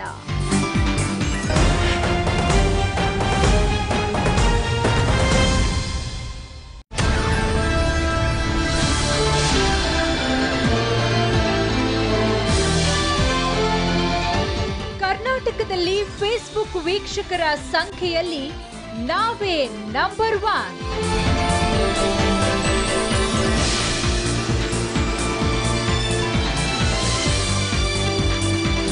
ಸೋಷಿಯಲ್ ಮೀಡಿಯಾದಲ್ಲಿ ಧೂಳೆಪ್ಪಿಸಿದೆ ನಿಮ್ಮ ಬಿಟಿವಿ ನ್ಯೂಸ್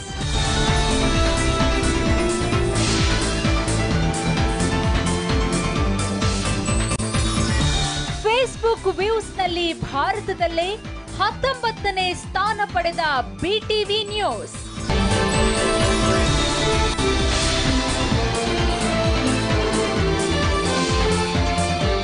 ಇದುವರೆಗೂ ಕರ್ನಾಟಕದ ಯಾವುದೇ ನ್ಯೂಸ್ ಚಾನೆಲ್ಗೂ ಸಿಕ್ಕಿಲ್ಲ ಈ ಮನ್ನಣೆ.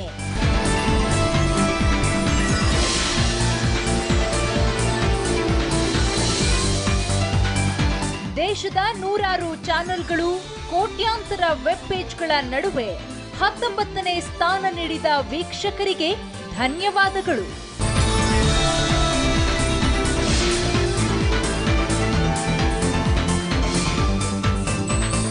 ಫೇಸ್ಬುಕ್ನಲ್ಲಿ ಬಿಟಿವಿ ವೀಕ್ಷಿಸ್ತಾ ಇರೋ ಕೋಟಿ ಕೋಟಿ ಜನತೆಗೆ ನಮ್ಮ ನಮನ.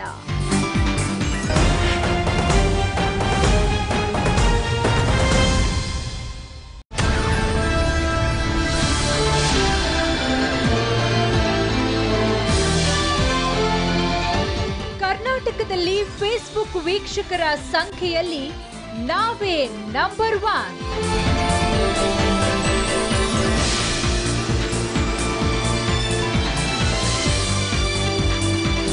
ಸೋಷಿಯಲ್ ಮೀಡಿಯಾದಲ್ಲಿ ಧೂಳೆಪ್ಪಿಸಿದೆ ನಿಮ್ಮ ಬಿಟಿವಿ ನ್ಯೂಸ್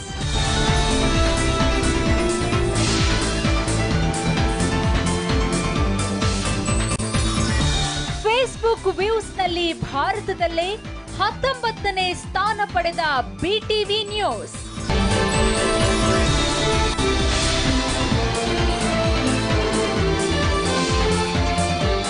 ಇದುವರೆಗೂ ಕರ್ನಾಟಕದ ಯಾವುದೇ ನ್ಯೂಸ್ ಚಾನೆಲ್ಗೂ ಸಿಕ್ಕಿಲ್ಲ ಈ ಮನ್ನಣೆ.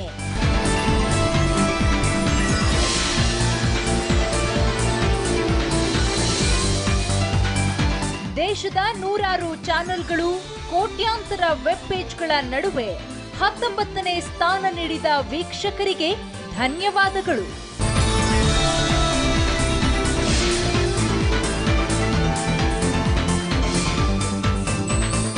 ಫೇಸ್ಬುಕ್ನಲ್ಲಿ ಬಿಟಿವಿ ವೀಕ್ಷಿಸ್ತಾ ಇರೋ ಕೋಟಿ ಕೋಟಿ ಜನತೆಗೆ ನಮ್ಮ ನಮನ.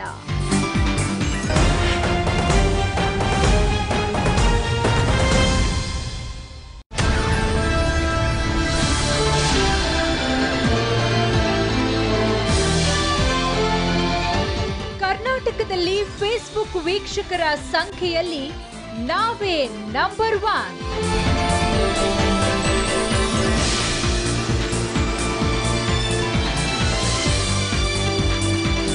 ಸೋಷಿಯಲ್ ಮೀಡಿಯಾದಲ್ಲಿ ಧೂಳೆಪ್ಪಿಸಿದೆ ನಿಮ್ಮ ಬಿಟಿವಿ ನ್ಯೂಸ್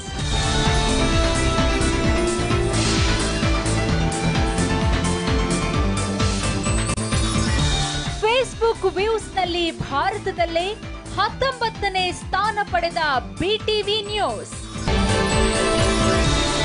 ದನಗಳ ಹೆಸರಲ್ಲಿ ಮನುಷ್ಯರನ್ನು ಕ- ಕೊಲ್ತಾ ಇದ್ದಾರೆ ಹೊಡೆದು ಹೊಡೆದು ಸಾಯಿಸ್ತಾ ಇದ್ದಾರೆ.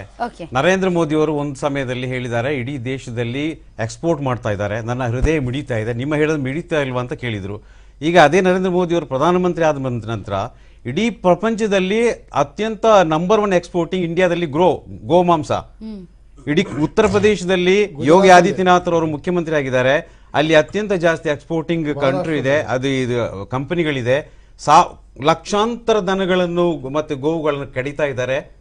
ಎಕ್ಸ್ಪೋರ್ಟ್ ಮಾಡ್ತಾ ಇದ್ದಾರೆ. ಒಂದು. ಎರಡನೇದಾಗಿ ಕೇರಳ ತ್ರಿಪುರ ಮೇಘಾಲಯ ಇದೆಲ್ಲ ಅಲ್ಲಿ ಹಿಂದೂಗಳಿಲ್ವಾ? ಹಿಂದೂಗಳೇ ಕಡಿತಾರೆ ಹಿಂದೂಗಳೇ ಮಾರ್ತಾರೆ ಹಿಂದೂಗಳ ಹೋಟೆಲ್ನಲ್ಲೇ ಬೀಫ್ ಇದೆ. ಹಾಗಾದ್ರೆ ಒಂದು ಕಡೆಯಲ್ಲಿ ಹಿಂದೂ ಧರ್ಮದೇ ಬೇರೆ ಇನ್ನೊಂದು ಕಡೆ ಹಿಂದೂ ಧರ್ಮದೇ ಬೇರೆ ಇಡೀ.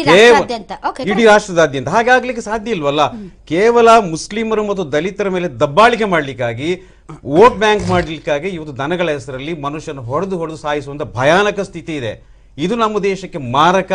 ಹೀಗಿದ್ರೆ ಜನ ರೊಚ್ಚಿಗೇಳುವಂತ ಒಂದು ಸಂದರ್ಭ ಕೂಡ ಬರುವ ಸಾಧ್ಯತೆ ಇದೆ. ದಲಿತರನ್ನ ಮುಸ್ಲಿಮರನ್ನೇ ಟಾರ್ಗೆಟ್ ಮಾಡ್ಲಾಗ್ತದೆ ಯಾಕೆ ಅಂದ್ರೆ ಇವತ್ತು ಹಿಂದೂಗಳು ನಾವು ಭದ್ರರಲ್ಲ ಅಭದ್ರತ ವಾತಾವರಣ ಸೃಷ್ಟಿ ಮಾಡಿಕೊಂಡು ನಿಮ್ಮನ್ನು ನಾವು ಇಲ್ಲಿ ರಕ್ಷಿಸಬೇಕಾದ್ರೆ ಬಿಜೆಪಿಗೆ ವೋಟ್ ಹಾಕಬೇಕು.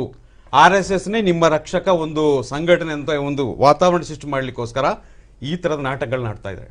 ಓಕೆ. ಬಲಿ ಆಗ್ತಾ ಇರೋದು ಅಮಾಯಕ ಜೀವಗಳು. ಹಾಗಾಗಿ ನರೇಂದ್ರ ಮೋದಿ ಅವರು ಹೇಳಿದಂತ ಮಾತುಗಳು ಈಗ ಎಲ್ಲಿ ಹೋಯ್ತು? ನನ್ನ ಹೃದಯ ಮಿಡಿತಿದೆ ಅಂತ ಹೇಳಿ ಭಾಷಣ ಮಾಡಿದ ನರೇಂದ್ರ ಮೋದಿಗೆ ಈಕೆ ಯಾಕೆ ಈಗ ಯಾಕೆ ಹೃದಯ ಮಿಡಿಯುವುದಿಲ್ಲ?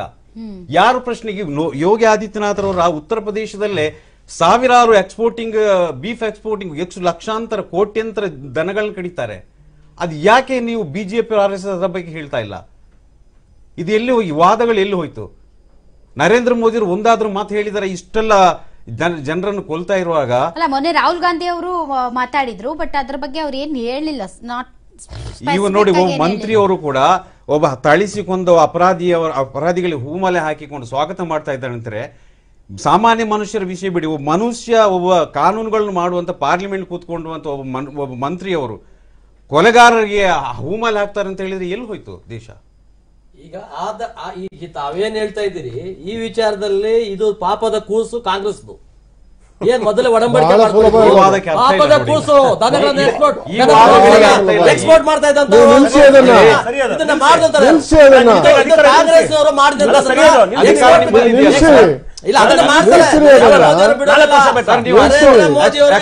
ಮಾಡ್ತಾರೆ ನರೇಂದ್ರ ಮೋದಿ ಅವರು ಗೋಗಳನ್ನ ರಕ್ಷಣೆ ಮಾಡೋದು ಇಲ್ಲ ಇನ್ನೇನು? ಮಾಡ್ತೀರಾ ಆಯ್ತಲ್ಲ ನಾಲ್ಕು ವರ್ಷ ಕಳ್ದು ಹೋಯ್ತಲ್ಲ ಅಗ್ರಿಮೆಂಟ್ ಎಷ್ಟು ದಿವಸ ಮಾಡ್ಕೊಂಡಿದ್ದಾರೆ ಸರ್, ನೀವು ಓ, export ಯಾಕೆ ಹಂಗೆ. ಮಾಡ್ತೀರಿ ಸರ್? Export international agreement. ಯಾಕೆ ಕಾಂಗ್ರೆಸ್ ಅವ್ರು ತೋರ್ಸಿ agreement ಇಲ್ಲ, ಕಾಂಗ್ರೆಸ್ ಇಲ್ಲ. ರಾಜಕಾರಣ ಮಾಡೋದಕ್ಕೆ ನಮ್ಮನ್ನ ಓಲೈಸ್ಕೊಳಕ್ ಮಾಡುವಂತ ಕೆಲಸ ಅದು ಸರ್ ಇಂಟರ್ನ್ಯಾಷನಲ್ All- ಎಕ್ಸ್ಪೋರ್ಟ್ ನೀವು ಅಗ್ರಿಮೆಂಟ್ ಮಾಡಿದ್ರೆ ಅವಾಗ. ಕಾಂಗ್ರೆಸ್ ಅವ್ರು ಮಾಡಿರೋಂಥದ್ದು. ಇಲ್ಲ, ಇಲ್ಲ, ಇಲ್ಲ, ಇಲ್ಲ, ಇಲ್ಲ. Yes. cancelled. cancelled by Modi. Yes. Why only beef agreement?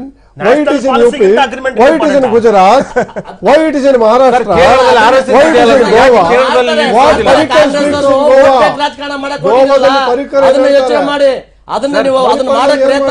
ಜನಗಳಿಗೆ. ನಾಟಕ ಅರ್ಥ ಆಗುತ್ತೆ ಸರ್ ನೀವು ಹಾಗೆಲ್ಲ ಹೇಳಿದ್ರೆ ಆಗಲ್ಲ ಅದು ಪಾಪಿಷ್ಟ್ರವಾಗಿ ಬದುಕೊಂಡಂತಿದೆಯಲ್ಲ ಇದು ಡುಪ್ಲಿಸಿಟಿ ಅಂತ ನಾನು ಹೇಳುವಂತದ್ದು ದ್ವಂದ್ವ. ಅಲ್ಲ ಹಿಪೋಕ್ರಸಿ hypocrisy. ದ್ವಂದ್ವ ಇರಬೇಕು ನಮಗೆ ಡೈಲಮ ಇರಬೇಕು ನಮಗೆ. ಇದು ದ್ವಂದ್ವನೂ ಅಲ್ಲ ಡೈಲಮನೂ ಅಲ್ಲ ಮೇಡಮ್ ನಾನು ಯಾಕೆ ಮಾತನ್ನ ಒಂದು ನಮ್ಮ ಡೈರಿ ಪ್ರಾಡಕ್ಟ್ ಇದೆಯಲ್ಲ. Dairy ಪ್ರಾಡಕ್ಟ್ನಲ್ಲಿ more than three fourth of the dairy product is ಎಮ್ಮೆಗಳಿಂದ. ಹಸುಗಳಿಂದಲ್ಲ. ಎಮ್ಮೆಗಳನ್ನು ಕೊಲ್ಬೋದಂತೆ ಹಸುಗಳನ್ನು ಕೊಲ್ಲಬಾರ್ದಂತೆ ಕೊಲ್ಲಬೇಕು ಅಂತ ಹೇಳಲ್ಲ ನಾನು. ನಾನು ನಾನು ಜೀವ ವಿರೋಧಿ ಅಲ್ಲ ಅಲ್ಲ, ಬದಲಾವಣೆ ಅದನ್ನು ಹೇಳ್ತಾ-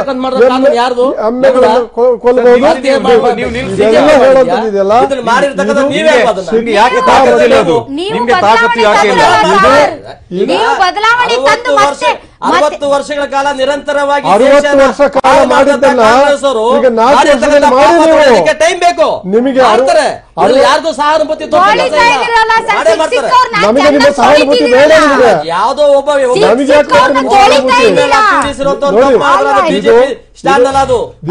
height of to say that ಸಹಾನುಭೂತಿ ಬೇಡ ಅಂತ. ನಮಗೆ ಯಾವ ಸಹಾನುಭೂತಿಯಲ್ಲಿ ಯಾರು ಬದುಕ್ತಾ ಇಲ್ಲ ದೇಶದ ಪ್ರಜೆಗಳು. ದೇಶದ ಪ್ರಜೆಗಳ ಸಹಾನುಭೂತಿಯಿಂದ ಪ್ರಭುತ್ವ ಬದುಕ್ತದೆ. ಆಲ್ ರೈಟ್ ಎಸ್ ಮುಸ್ಲಿಂ ಮತ್ತು ಮುಸ್- ಮುಸಲ್ಮಾನರು ಮತ್ತು ದಲಿತರು. ಯಾಕೆ ಗೋ ಗೋ ಮಾಂಸ ಮತ್ತು ಈ ಗೋ ಪಾಲಿಟಿಕ್ಸ್ ಅಥವಾ ಈ ಬೀಫ್ ಪಾಲಿಟಿಕ್ಸ್ ಈ ಈ ಈ ಈ ವಿಷವರ್ತುಲದಲ್ಲಿ ಸಿಗಾಕೊಳ್ಳೋರು ನನ್ನ ಅದರ್ ದೆನ್ ದಲಿತರು ಮತ್ತು ಮುಸಲ್ಮಾನರು. ಬಿಟ್ರೆ ಬೇರೆಯವ್ರು ಇಲ್ಲ. ಯಾಕೆ ಅವರನ್ನೇ? ಮೇಡಮ್ ಒಂದೇನಂದ್ರೆ ಸಿ ನೀವು ಇದು ಸ್ವತಂತ್ರ ಪೂರ್ವದಿಂದ ಕೂಡ ನೀವು ಇಡೀ ನಮ್ಮ ದೇಶದ ಇತಿಹಾಸವನ್ನು ತಗೊಂಡಾಗ ಈ ಅದರಲ್ಲೂ ಕೂಡ ಸ್ವತಂತ್ರ ನಂತರದ ದಿನಗಳಲ್ಲಿ.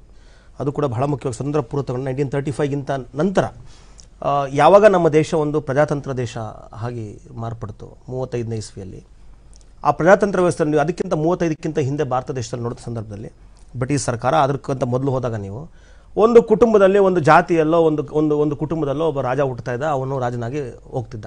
It it was a choice ಆದರೆ ಯಾವಾಗ ಭಾರತ ದೇಶ ಪ್ರಜಾಪ್ರಭುತ್ವ ಆಯಿತು ಇಲ್ಲಿ ಈ ದೇಶವನ್ನು ಆಳತಕ್ಕಂಥ ಒಂದು ಸರ್ಕಾರ ಮತ್ತು ಒಬ್ಬ ವ್ಯಕ್ತಿ ಅವನು ಪ್ರಧಾನಮಂತ್ರಿ ಆಗ್ಬೋದು, ಯಾವುದೇ ಆಗ್ಬೋದು, ಅವನು ಹುಡ್ತಕ್ಕಂಥದ್ದು ಮತಪೆಟ್ಟಿಗೆಯಲ್ಲಿ ಸೊ ಒಂದು ಡೆಮಾಕ್ರಸಿಯಲ್ಲಿ ಯಾವತ್ತೂ ಕೂಡ ಮೆಜಾರಿಟಿ ಪಾಲಿಟಿಕ್ಸ್ ಯಾರಿಗೆ ಹೆಚ್ಚು ಮತಗಳಿರ್ತದೋ, ಅಲ್ಲಿ ಅವರು ಅಧಿಕಾರವನ್ನು ಗಳಿಸ್ತಕ್ಕಂಥದ್ದು ವ್ಯವಸ್ಥೆ ಇದೆ.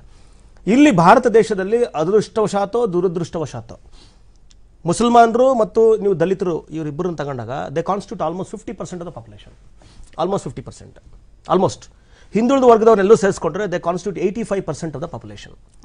So ಎಂಬತ್ತೈದು ಪರ್ಸೆಂಟ್ ಪಾಪ್ಯುಲೇಷನ್ ಇರೋದ್ರಿಂದ ಈ ಮಾನವ ವಿರೋಧಿ ಜೀವ ವಿರೋಧಿ ಒಂದು ರೀತಿ ದೇಶ ವಿರೋಧಿ ಮನಸ್ಥಿತಿ ಇರತಕ್ಕಂಥ ಕೆಲವು ಜಾತಿವಾದಿ ಕೋಮುವಾದಿಗಳಿದಾರಲ್ಲ ಇವ್ರ ಸಂಖ್ಯೆ ಕಡಿಮೆ ಇದೆ. ಯಾಕೆ ಅವ್ರು ಮನುಷ್ಯರಲ್ವ? ಯಾಕೆ ಮನುಷ್ಯ ಯಾಕೆಂದ್ರೆ ಇದು- ಈ ನಡ- ಈ ನಡವಳಿಕೆಗಳು. ಈ ನಡವಳಿಕೆಗಳು. ಯಾದ್ರಿಂದ ಅವ್ರು ಸಾಧಿಸೋದೇನು? ಅದು ಅದು ವಿಕೃತ ಒಂದು. ಅದು they're sadist I not convince they're sadist ಯಾಕಂದ್ರೆ ಇತಿಹಾಸ ಉದ್ದಕ್ಕೂ ನೋಡಿ ನೀವು. ಇವ್ರಿಗೆ ಅಧಿಕಾರದಲ್ಲಿ ಇರಬೇಕಾದ್ರೆ ಹಿಟ್ಲರ್. ಹಿಟ್ಲರ್ಗೆ ಜ್ಯೂಸ್ ಅನ್ನ ಕೊಲ್ಲೋದ್ರಿಂದ ಏನು ಆತನ್ ಆತನಿಗೆ ಸಿಗ್ತಾ ಇತ್ತು ಖುಷಿ? ಅದೊಂದು ವಿಕೃತ ಮನೋಭಾವನೆ ಅದು. ಸೊ ಇದು ಒಂದು ಸಿದ್ಧಾಂತ ಮತ್ತು ಇದೊಂದು ಮನಸ್ಥಿತಿ ಇದು. ಸೊ ಈ ಮನಸ್ಥಿತಿ ಈ- ಮನಸ್ಥಿತಿ ಇರ್ತಕ್ಕಂಥ ನೋಡಿ ನೀವು ಯಾವಾಗಲೂ ಕೂಡ ಅಷ್ಟೇ ಈ ಮನಸ್ಥಿತಿ ಅವರು ಯಾವತ್ತೂ ಕೂಡ ಏನ್ ಮಾಡ್ತಾರೆ ಜನರ ಎಮೋಷನ್ ಜೊತೆಗೆ ಆಟ ಆಡ್ತಾರೆ. ಹಿಟ್ಲರ್ ಮಾಡಿದ್ದು ಅದನ್ನೇ.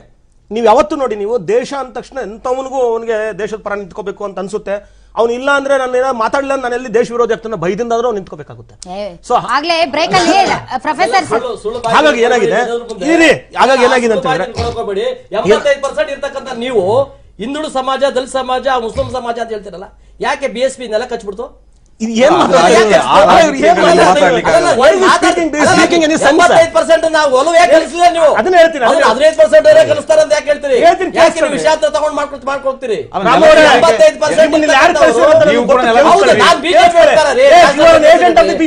ಹೌದು, ನಾನ್. ಬರುವ ಎಲೆಕ್ಷನ್ ನೀವು ಕೂಡ ನೆಲೆಸುತ್ತೀರಿ. ಬರುವ ಎಲೆಕ್ಷನ್ ಅಲ್ಲಿ ಇವರು ಕೂಡ ನೆಲೆಸುತ್ತಾರೆ? ನನ್ನ ಸಮುದಾಯದ ಶತ್ರುಗಳ ಜೊತೆಗ. ಅಂಬೇಡ್ಕರ್ ನಿನ್ನ. ಸಮಾಜವನ್ನು ನಾಶ ಮಾಡೋ ಜೊತೆಗ. ಸುಪ್ರೀಂ ಮನೆ, ನಿನ್ನ BSP ಸಮಾಜವನ್ನು ಸುಳಿತಾರ ಜೊತೆಗ. ನಿನ್ನ ಸಮಾಜವನ್ನು ಅತ್ಯಾಚಾರ ಮಾಡೋ ಜೊತೆಗ ನೀನ್ ಏಜೆಂಟ್ ನೀನು. ನಿನ್ನ ಸಮಾಜವನ್ನು ರೇಪ್ ಮಾಡ್ತಾ ಜೊತೆಗೆ ಏಜೆಂಟ್ ನೀನು.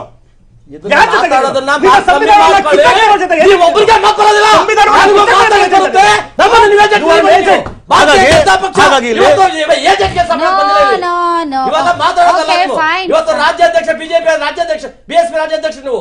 ನೋಡ್ತಾ ಇದ್ದಾರೆ ನಿಮ್ಮನ್ನ?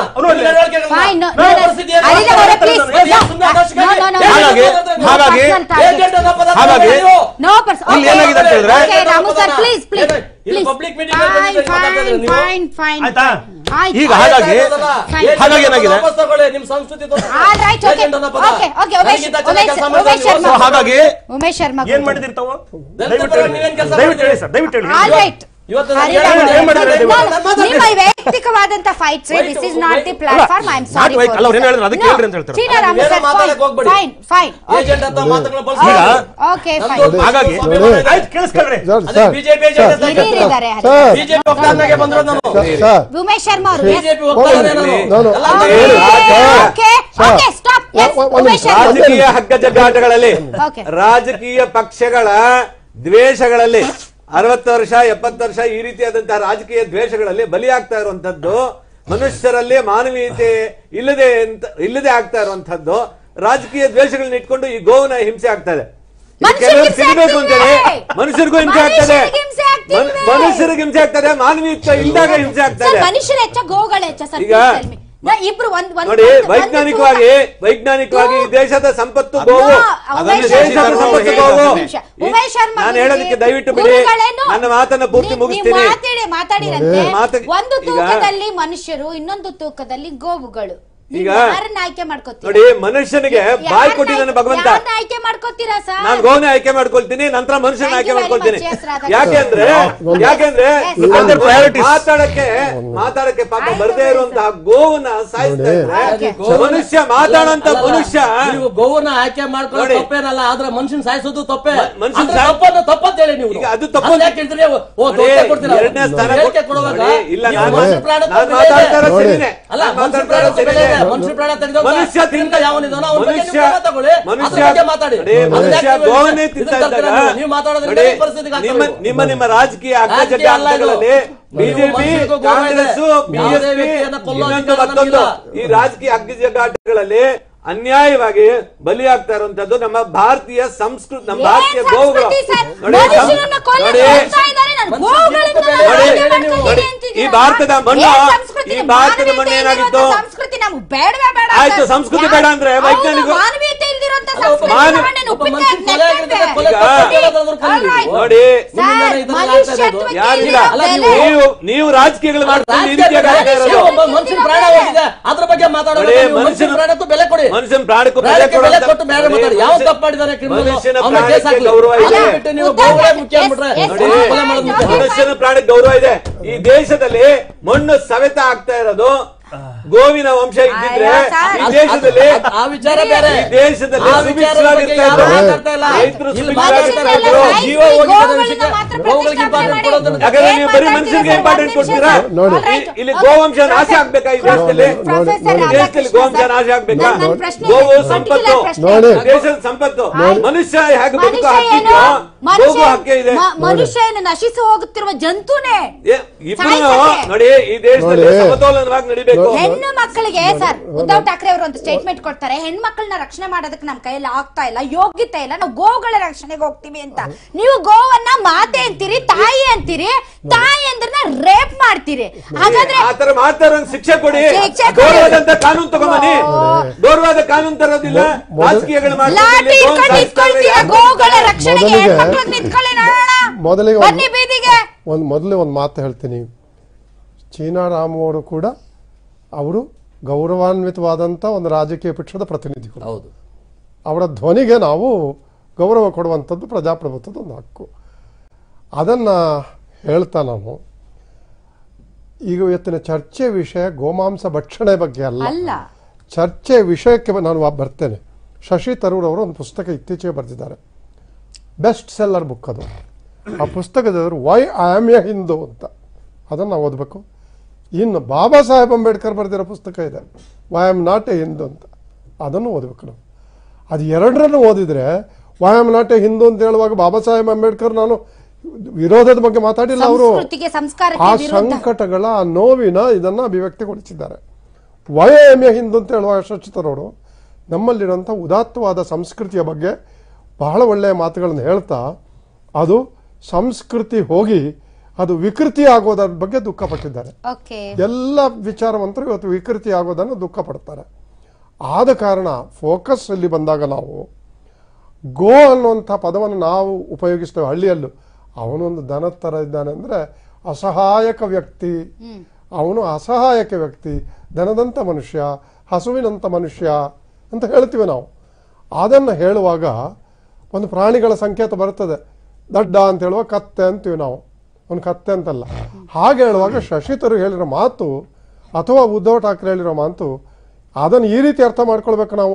ಏನಂದರೆ ಗೋವುಗಳಾದರೂ ಪರವಾಗಿಲ್ಲ ನಾವು ಮನುಷ್ಯರಾಗಬೇಕು ಅಂತ ಹೇಳುವಾಗ ಅಸಹಾಯಕರಲ್ಲಿ ಅಸಹಾಯಕರಾಗ್ಬಿಟ್ವಲ್ಲ ನಾವು. ಅಸಹಾಯಕರಲ್ಲಿ ಅಸಹಾಯ ಒಬ್ಬ ಮನುಷ್ಯನ ಬೀದಿಯಲ್ಲಿ ಸತ್ತೋಗ್ಬಿಡ್ತಾನೆ ಕೊಲ್ತಾನೆ. ಯಾರು ಕಾರಣ ಅಂತ ನಾನು ಹೇಳೋದಿಲ್ಲ. ಈ ಪರಿಸ್ಥಿತಿಯ ದ್ವೇಷದ ವಾತಾವರಣ. This has become an age of ವಿನಾ ವಿನಾಕಾರಣ ಯಾರ ಮೇಲೋ ಸಿಟ್ಟು? ಆ ಸಿಟ್ಟನ್ನು ಪ್ರಚೋದನೆ ಮಾಡೋದಲ್ಲ. ಗಾಂಧೀಜಿ ಮತ್ತು Ambedkar they inspired they our instigated instigated ಅವರು ಪ್ರೇರೇಪಿಸಿದರು ಪ್ರಚೋದಿಸಲಿಲ್ಲ. ಅವರು ಪ್ರೇರೇಪಿಸಿದರು ಪ್ರಚೋದಿಸಲಿಲ್ಲ. ಬಂಡಾಯ ಹೇಳೋದಕ್ಕೆ ಪ್ರೇರೇಪಿಸಿದರು ಪ್ರಚೋದಿಸಲಿಲ್ಲ. ಆ- ಮಹಾನುಭಾವರನ್ನ ಹೆಜ್ಜೆಯಲ್ಲಿ ನಾವು ದಾಳಿಯೋದು ಬಿಟ್ಟು ಇವತ್ತು ನಾವು ಈ ವಿಷಯ ತಗೊಂಡು ಬೀದಿಯಲ್ಲಿ ಹೊಡೆದುಕೊಳ್ಳೋದು ಮೇಡಮ್ ಹೆಣ್ಮಕ್ಳು ನಾನು ಪುನಃ ಮತ್ತೊಂದು ಸಲ ಹೇಳ್ತೀನಿ ಜವಾಬ್ದಾರಿಯಿಂದ. ನಾನು ಕಾಂಗ್ರೆಸ್ ಪಕ್ಷದ ವಕ್ತಾರನಾದರೂ ಸತ್ಯಕ್ಕೆ ಸತ್ಯವಾಗಿ ಬದುಕಬೇಕು ಅಂತಿರುವನು data given by the home department led by Rajnath Singh led by ಮಾನ್ಯ ನರೇಂದ್ರ ಮೋದಿ. ಆ ಡೇಟಾಗಳು ಏನು ಹೇಳ್ತವೆ? ರೇಪ್ ಜಾಸ್ತಿ ಆಗಿದೆ ಅಂತ ಹೇಳಲ್ವಾ? ನಾವು ಇವ್ರು ಹೇಳ್ತಾರೆ ಅರವತ್ತು ವರ್ಷ ಇರಲಿಲ್ವಾ? ಇಪ್ಪತ್ತೈದು ವರ್ಷ ಇರಲಿಲ್ವಾ? ಇಲ್ಲಪ್ಪ ಜನ ಏನಂದ್ಕೊಂಡ್ರು ನೀವು ಅರವತ್ತು ವರ್ಷ ಸರಿ ಮಾಡಲಿಲ್ಲ ಅಂತ ನಿಮಗೆ ಅಧಿಕಾರ ಕೊಟ್ಟರು ಅಚ್ಚದಿಂದ ದಿನ ತರ್ತೀವಿ ಅಂತ ವಿರೋಧ ಪಕ್ಷದಲ್ಲಿ ಇದ್ದೀವಿ ವಿರೋಧ ಪಕ್ಷದಲ್ಲಿರೋ Okay. ನಾವು ಸುಮ್ಮನೆ ಕೂತ್ಕೊಳ್ಬೇಕಾ? ನಾವು ತಪ್ಪನ್ನ ಹೇಳೇ ಹೇಳ್ತೀವಿ. ನಿಮ್ಮ ತಪ್ಪನ್ನ ಎಕ್ಸಾಜೆಟ್ ಮಾಡಿ ಆದ್ರೂ ಹೇಳ್ತೀವಿ ನೀವು ಮಾಡಿದ್ದನ್ನ. ಹಾಗೆ ಹೇಳ್ತಾ ರೇಪ್ ಜಾಸ್ತಿ ಆಗ್ಲಿಲ್ವಾ ಈ ದೇಶದಲ್ಲಿ? ಮಹಿಳೆ ಮೇಲೆ ಅಟ್ಯಾಕ್ ಜಾಸ್ತಿ ಆಗ್ಲಿಲ್ಲ ಆಗ್ಲಿಲ್ವಾ? ಆಮೇಲೆ. ಒಂದೇ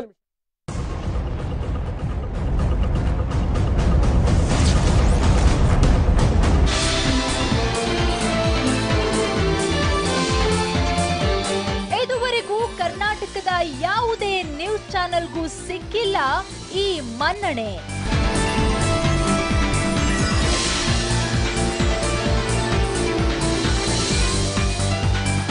ದೇಶದ ನೂರಾರು ಚಾನೆಲ್ಗಳು ಕೋಟ್ಯಾಂತರ ವೆಬ್ ಪೇಜ್ಗಳ ನಡುವೆ ಹತ್ತೊಂಬತ್ತನೇ ಸ್ಥಾನ ನೀಡಿದ ವೀಕ್ಷಕರಿಗೆ ಧನ್ಯವಾದಗಳು.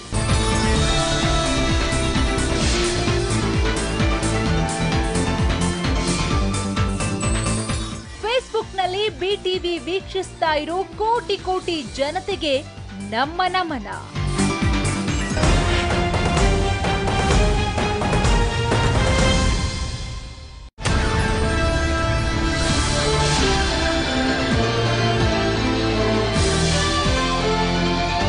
ಕರ್ನಾಟಕದಲ್ಲಿ ಫೇಸ್ಬುಕ್ ವೀಕ್ಷಕರ ಸಂಖ್ಯೆಯಲ್ಲಿ ನಾವೇ ನಂಬರ್ ಒನ್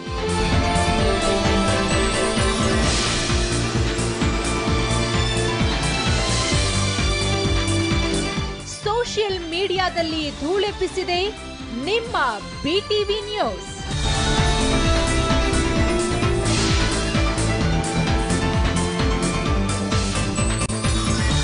ಫೇಸ್ಬುಕ್ ವ್ಯೂಸ್ನಲ್ಲಿ ಭಾರತದಲ್ಲೇ ಹತ್ತೊಂಬತ್ತನೇ ಸ್ಥಾನ ಪಡೆದ ಬಿಟಿವಿ ನ್ಯೂಸ್.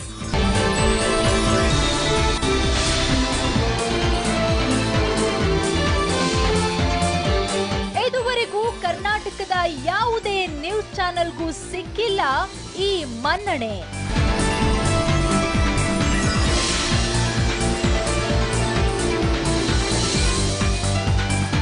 ದೇಶದ ನೂರಾರು ಚಾನೆಲ್ಗಳು ಕೋಟ್ಯಾಂತರ ವೆಬ್ ಪೇಜ್ಗಳ ನಡುವೆ ಹತ್ತೊಂಬತ್ತನೇ ಸ್ಥಾನ ನೀಡಿದ ವೀಕ್ಷಕರಿಗೆ ಧನ್ಯವಾದಗಳು.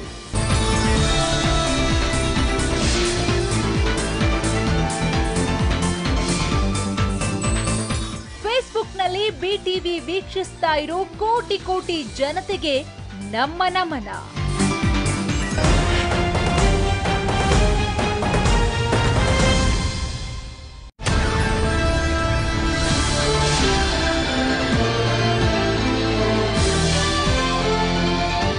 ಕರ್ನಾಟಕದಲ್ಲಿ ಫೇಸ್ಬುಕ್ ವೀಕ್ಷಕರ ಸಂಖ್ಯೆಯಲ್ಲಿ ನಾವೇ ನಂಬರ್ ಒನ್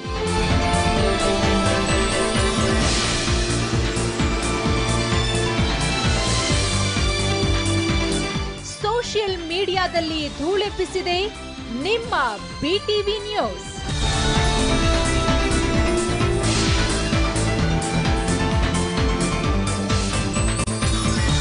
ಫೇಸ್ಬುಕ್ ವ್ಯೂಸ್ನಲ್ಲಿ ಭಾರತದಲ್ಲೇ ಹತ್ತೊಂಬತ್ತನೇ ಸ್ಥಾನ ಪಡೆದ ಬಿಟಿವಿ ನ್ಯೂಸ್.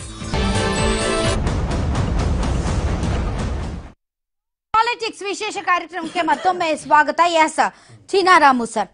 ಈಗ ಬಹಳಷ್ಟು ಕಡೆಯಿಂದ ಬಹಳಷ್ಟು ಹೇಳಿಕೆಗಳು ಬರ್ತಾ ಇದೆ. ಒಂದು ರೀತಿಯ ಅಸಹನೆ ಇದೆ, ಒಂದು ರೀತಿಯಾದಂತಹ ದೌರ್ಜನ್ಯಗಳು ನಡೀತಾ ಇದೆ. ಪ್ರಧಾನಮಂತ್ರಿಗಳು ಏನು ಮಾತಾಡ್ತಾ ಇಲ್ಲ. ಒಂದು ಸ್ಟ್ರಾಂಗ್ ವಾಯ್ಸ್ ನಾನು ಇದನ್ನ ಟಾಲರೇಟ್ ಮಾಡಲ್ಲ ಅಷ್ಟೇ. ಅಮಿತ್ ಶಾ ಅವರು, ನರೇಂದ್ರ ಮೋದಿ ಅವರು ಆ ನಿಮ್ಮ ರಾಷ್ಟ್ರೀಯ ಸಂಘಟನೆ, ಆರ್ ಎಸ್ ಎಸ್ನ ಪ್ರಮುಖರು ಯಾರಾದರೂ ನಿಂತು ಗೋಗಳ ಹೆಸರಲ್ಲಿ ಕಾನೂನನ್ನ ಕೈ ತಗೊಂಡ್ರೆ ನಾವು ಸುಮ್ನೆ ಇರಲ್ಲ. ದಿಸ್ ಇಸ್ ಫೈನಲ್ ವಾರ್ನಿಂಗ್ ಎದ್ ನಿಂತ ಹೇಳಕ್ ಹೇಳಿ ನೋಡೋಣ. ಯಾಕೆ ಹೇಳಲ್ಲ ನೀವು? ಬಿಕಾಸ್ ಹಿಂದೂಯಿಸಂ ಹೆಸರಲ್ಲಿ ಬಿಜೆಪಿ ಹೆಸರಲ್ಲಿ ಸಂಘಟನೆ ಹೆಸರಲ್ಲಿ ಇಂಥದ್ದೇ ನಡೀತಾ ಇರುವ. ಕೆಟ್ಟ ಹೆಸರು ನಿಮ್ಗೆ ತಾನೆ. ಎವ್ರಿ ಬಡಿ ಎಲ್ಲರೂ ನಿಮ್ಮನ್ನ ಟಾರ್ಗೆಟ್ ಮಾಡ್ತಾ ಇರ್ಬೇಕಾ ನೀವ್ ಯಾಕೆ ಎದ್ ನಿಂತ ಹೇಳಲ್ಲ? ಇದನ್ನ ನೀವು ಡಿನೈನೂ ಮಾಡಲ್ಲ. ನೀವು ಅದನ್ನ ಎದುರಿಸೋದು ಇಲ್ಲ. ಮೋದಿ ನರೇಂದ್ರ ಮೋದಿ ಅವರು ಈ ಬಗ್ಗೆ ಯಾರಾದ್ರೂ ದಲಿತರನ್ನ ಸುಟ್ರೆ ನನ್ನನ್ನು ಸುಟ್ಟಂಗೆ ಮೊದಲು ನನ್ ಸುಡಿ ಅಂತ ಹೇಳುವಂತ ಮಾತು ಹೇಳಿದ್ದಾರೆ ಸುಡಿ ಅಲ್ಲ ಸಾ- ನೇತಾಕ್ಬಿಡ್ತೀನಿ ಅಂತ ಹೇಳ್ಬೇಕಾಗಿತ್ತು ಅವರು ಆ ಮಾತನ್ನ ಹೇಳಿದ್ದಾರೆ. ಅಸಹಾಯಕತೆ ಅಲ್ಲ, ಅಸಹಾಯಕತನ ಅಲ್ಲ ಅಂತ. ಮಾನವೀಯತೆ ಮನುಷ್ಯರು ರೀ. ಕಳ್ಕೊಂಡಿರ್ತಕ್ಕಂಥ ಶಕ್ತಿ ಜಿ- ಈ ಮನುಷ್ಯರು. ಕೆಲವು ಶಕ್ತಿಗಳು ದುಷ್ಟ ಶಕ್ತಿಗಳು ಕೆಲಸ ಮಾಡ್ತಾ ಇದೆ ಅದು ಯಾರೇ ಮಾಡೋದು ತಪ್ಪು ಅಂತ ಅವ್ರು ಖಂಡಿಸಿದಾರೆ ಅದನ್ನ ಅದನ್ನ ಯಾವುದೇ ಕಾರಣಕ್ಕೂ ಅವ್ರ ಮುಲಾಜಿನ ತೋರಿಸೋದಿಲ್ಲ ಯಾವ ಪಾರ್ಟಿ ಅವರಿಗೆ ರಾಜಕಾರಣ ಮುಖ್ಯ ಅಲ್ಲ ದೇಶ ಅಭಿವೃದ್ಧಿ ಮುಖ್ಯ ದೇಶದಲ್ಲಿರ್ತಕ್ಕಂಥ ಜನರು ಮುಖ್ಯ ನೀವು ಕೇಳಿ ನೋಡಿ ಯಾರನ್ನಾದ್ರೂ ಯಾಕ್ರಿ ಮಾಡಿದ್ರೆ ಅಂದ್ರೆ ಅಯಮ್ಮ ಏನೋ ಅಯಮ್ಮ ಹಿಂದೂ. ಹಿಂದೂಗಳಲ್ಲಿ ಗೋ ಮಾತೆ. ಗೋ ಮಾತೆಯನ್ನ ಯಾರು ಕೊಲ್ತಾರ ಅವ್ರನ್ನ ನಾನು ಕೊಲ್ತೀನಿ ಅಂತ ಕೊಲ್ಲ ಹೇಳ್ತಾರೆ ಈಗ ಬೀದ ಅಣ್ಣ ಹೇಳ್ತಾ ಇದ್ರು ಹೇಳ್ತಾರೆ. ಬೀದರಲ್ಲಿ ಯಾರನ್ನೋ ಕೊಂದಾಕಿದ್ರು ಅಂತ. ಹೇಳ್ತಾರೆ. ಸರ್ಕಾರ ಯಾವ್ದಿತ್ತು ಸ್ವಾಮಿ ನಿಮ್ದು? ನಿಮ್ದೇ ಸರ್ಕಾರ ಇತ್ತಲ್ಲ ಏನ್ ಮಾಡಿದ್ರೆ? ದ್ವೇಷದ ವಾತಾವರಣ ಅಲ್ಲಲ್ಲ, ದೇಶದ ವಾತಾವರಣ ಅಲ್ಲ.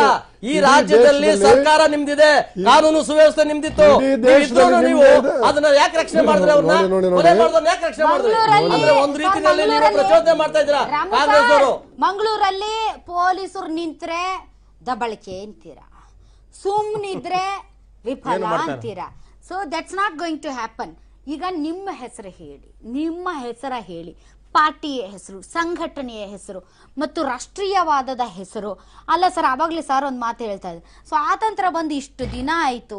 ಇದೇ ಮಣ್ಣಲ್ಲಿ ಮಣ್ಣಾಗಿ ಹೋಗ್ತೀವಿ ಸರ್ ಕಡೆಗೆ ನಾವು. ದಿಸ್ ಈಸ್ ಇದು ನಮ್ಮ ನೆಲ ರೀ, ಇದು ನಮ್ಮ ಮಣ್ಣು. Still you want us to tell that I am Indian ನಾನು ಭಾರತೀಯ, ನನ್ನ ನನ್ನ ದೇಶಭಕ್ತೆ ಅಂತ ನಾನು ಸಾರಿ ಸಾರಿ ಹೇಳ್ಬೇಕಾ? ಅಲ್ಲ ಈಗ ಒಂದು ಹೇಳ್ಬೇಕೇನ್ರಿ? ನನ್ನ ನನ್ ಗೋವುಗಳ ರಕ್ಷಣೆ ಮಾಡ್ತೀನಿ ನಾನು ಭಾರತೀಯ. ಮೈ ಹಿಂದೂಸ್ತಾನಿ ಅಂತ ಹೇಳ್ಬೇಕಾ ನಾನು? ಮಣ್ಣ ಈ ಮಣ್ಣಲ್ಲಿ ಹುಟ್ಟಿದೀವಿ ಸರ್ ಈ ಮಣ್ಣಲ್ಲೇ ಮಣ್ಣಾಗ್ತಿವಿ.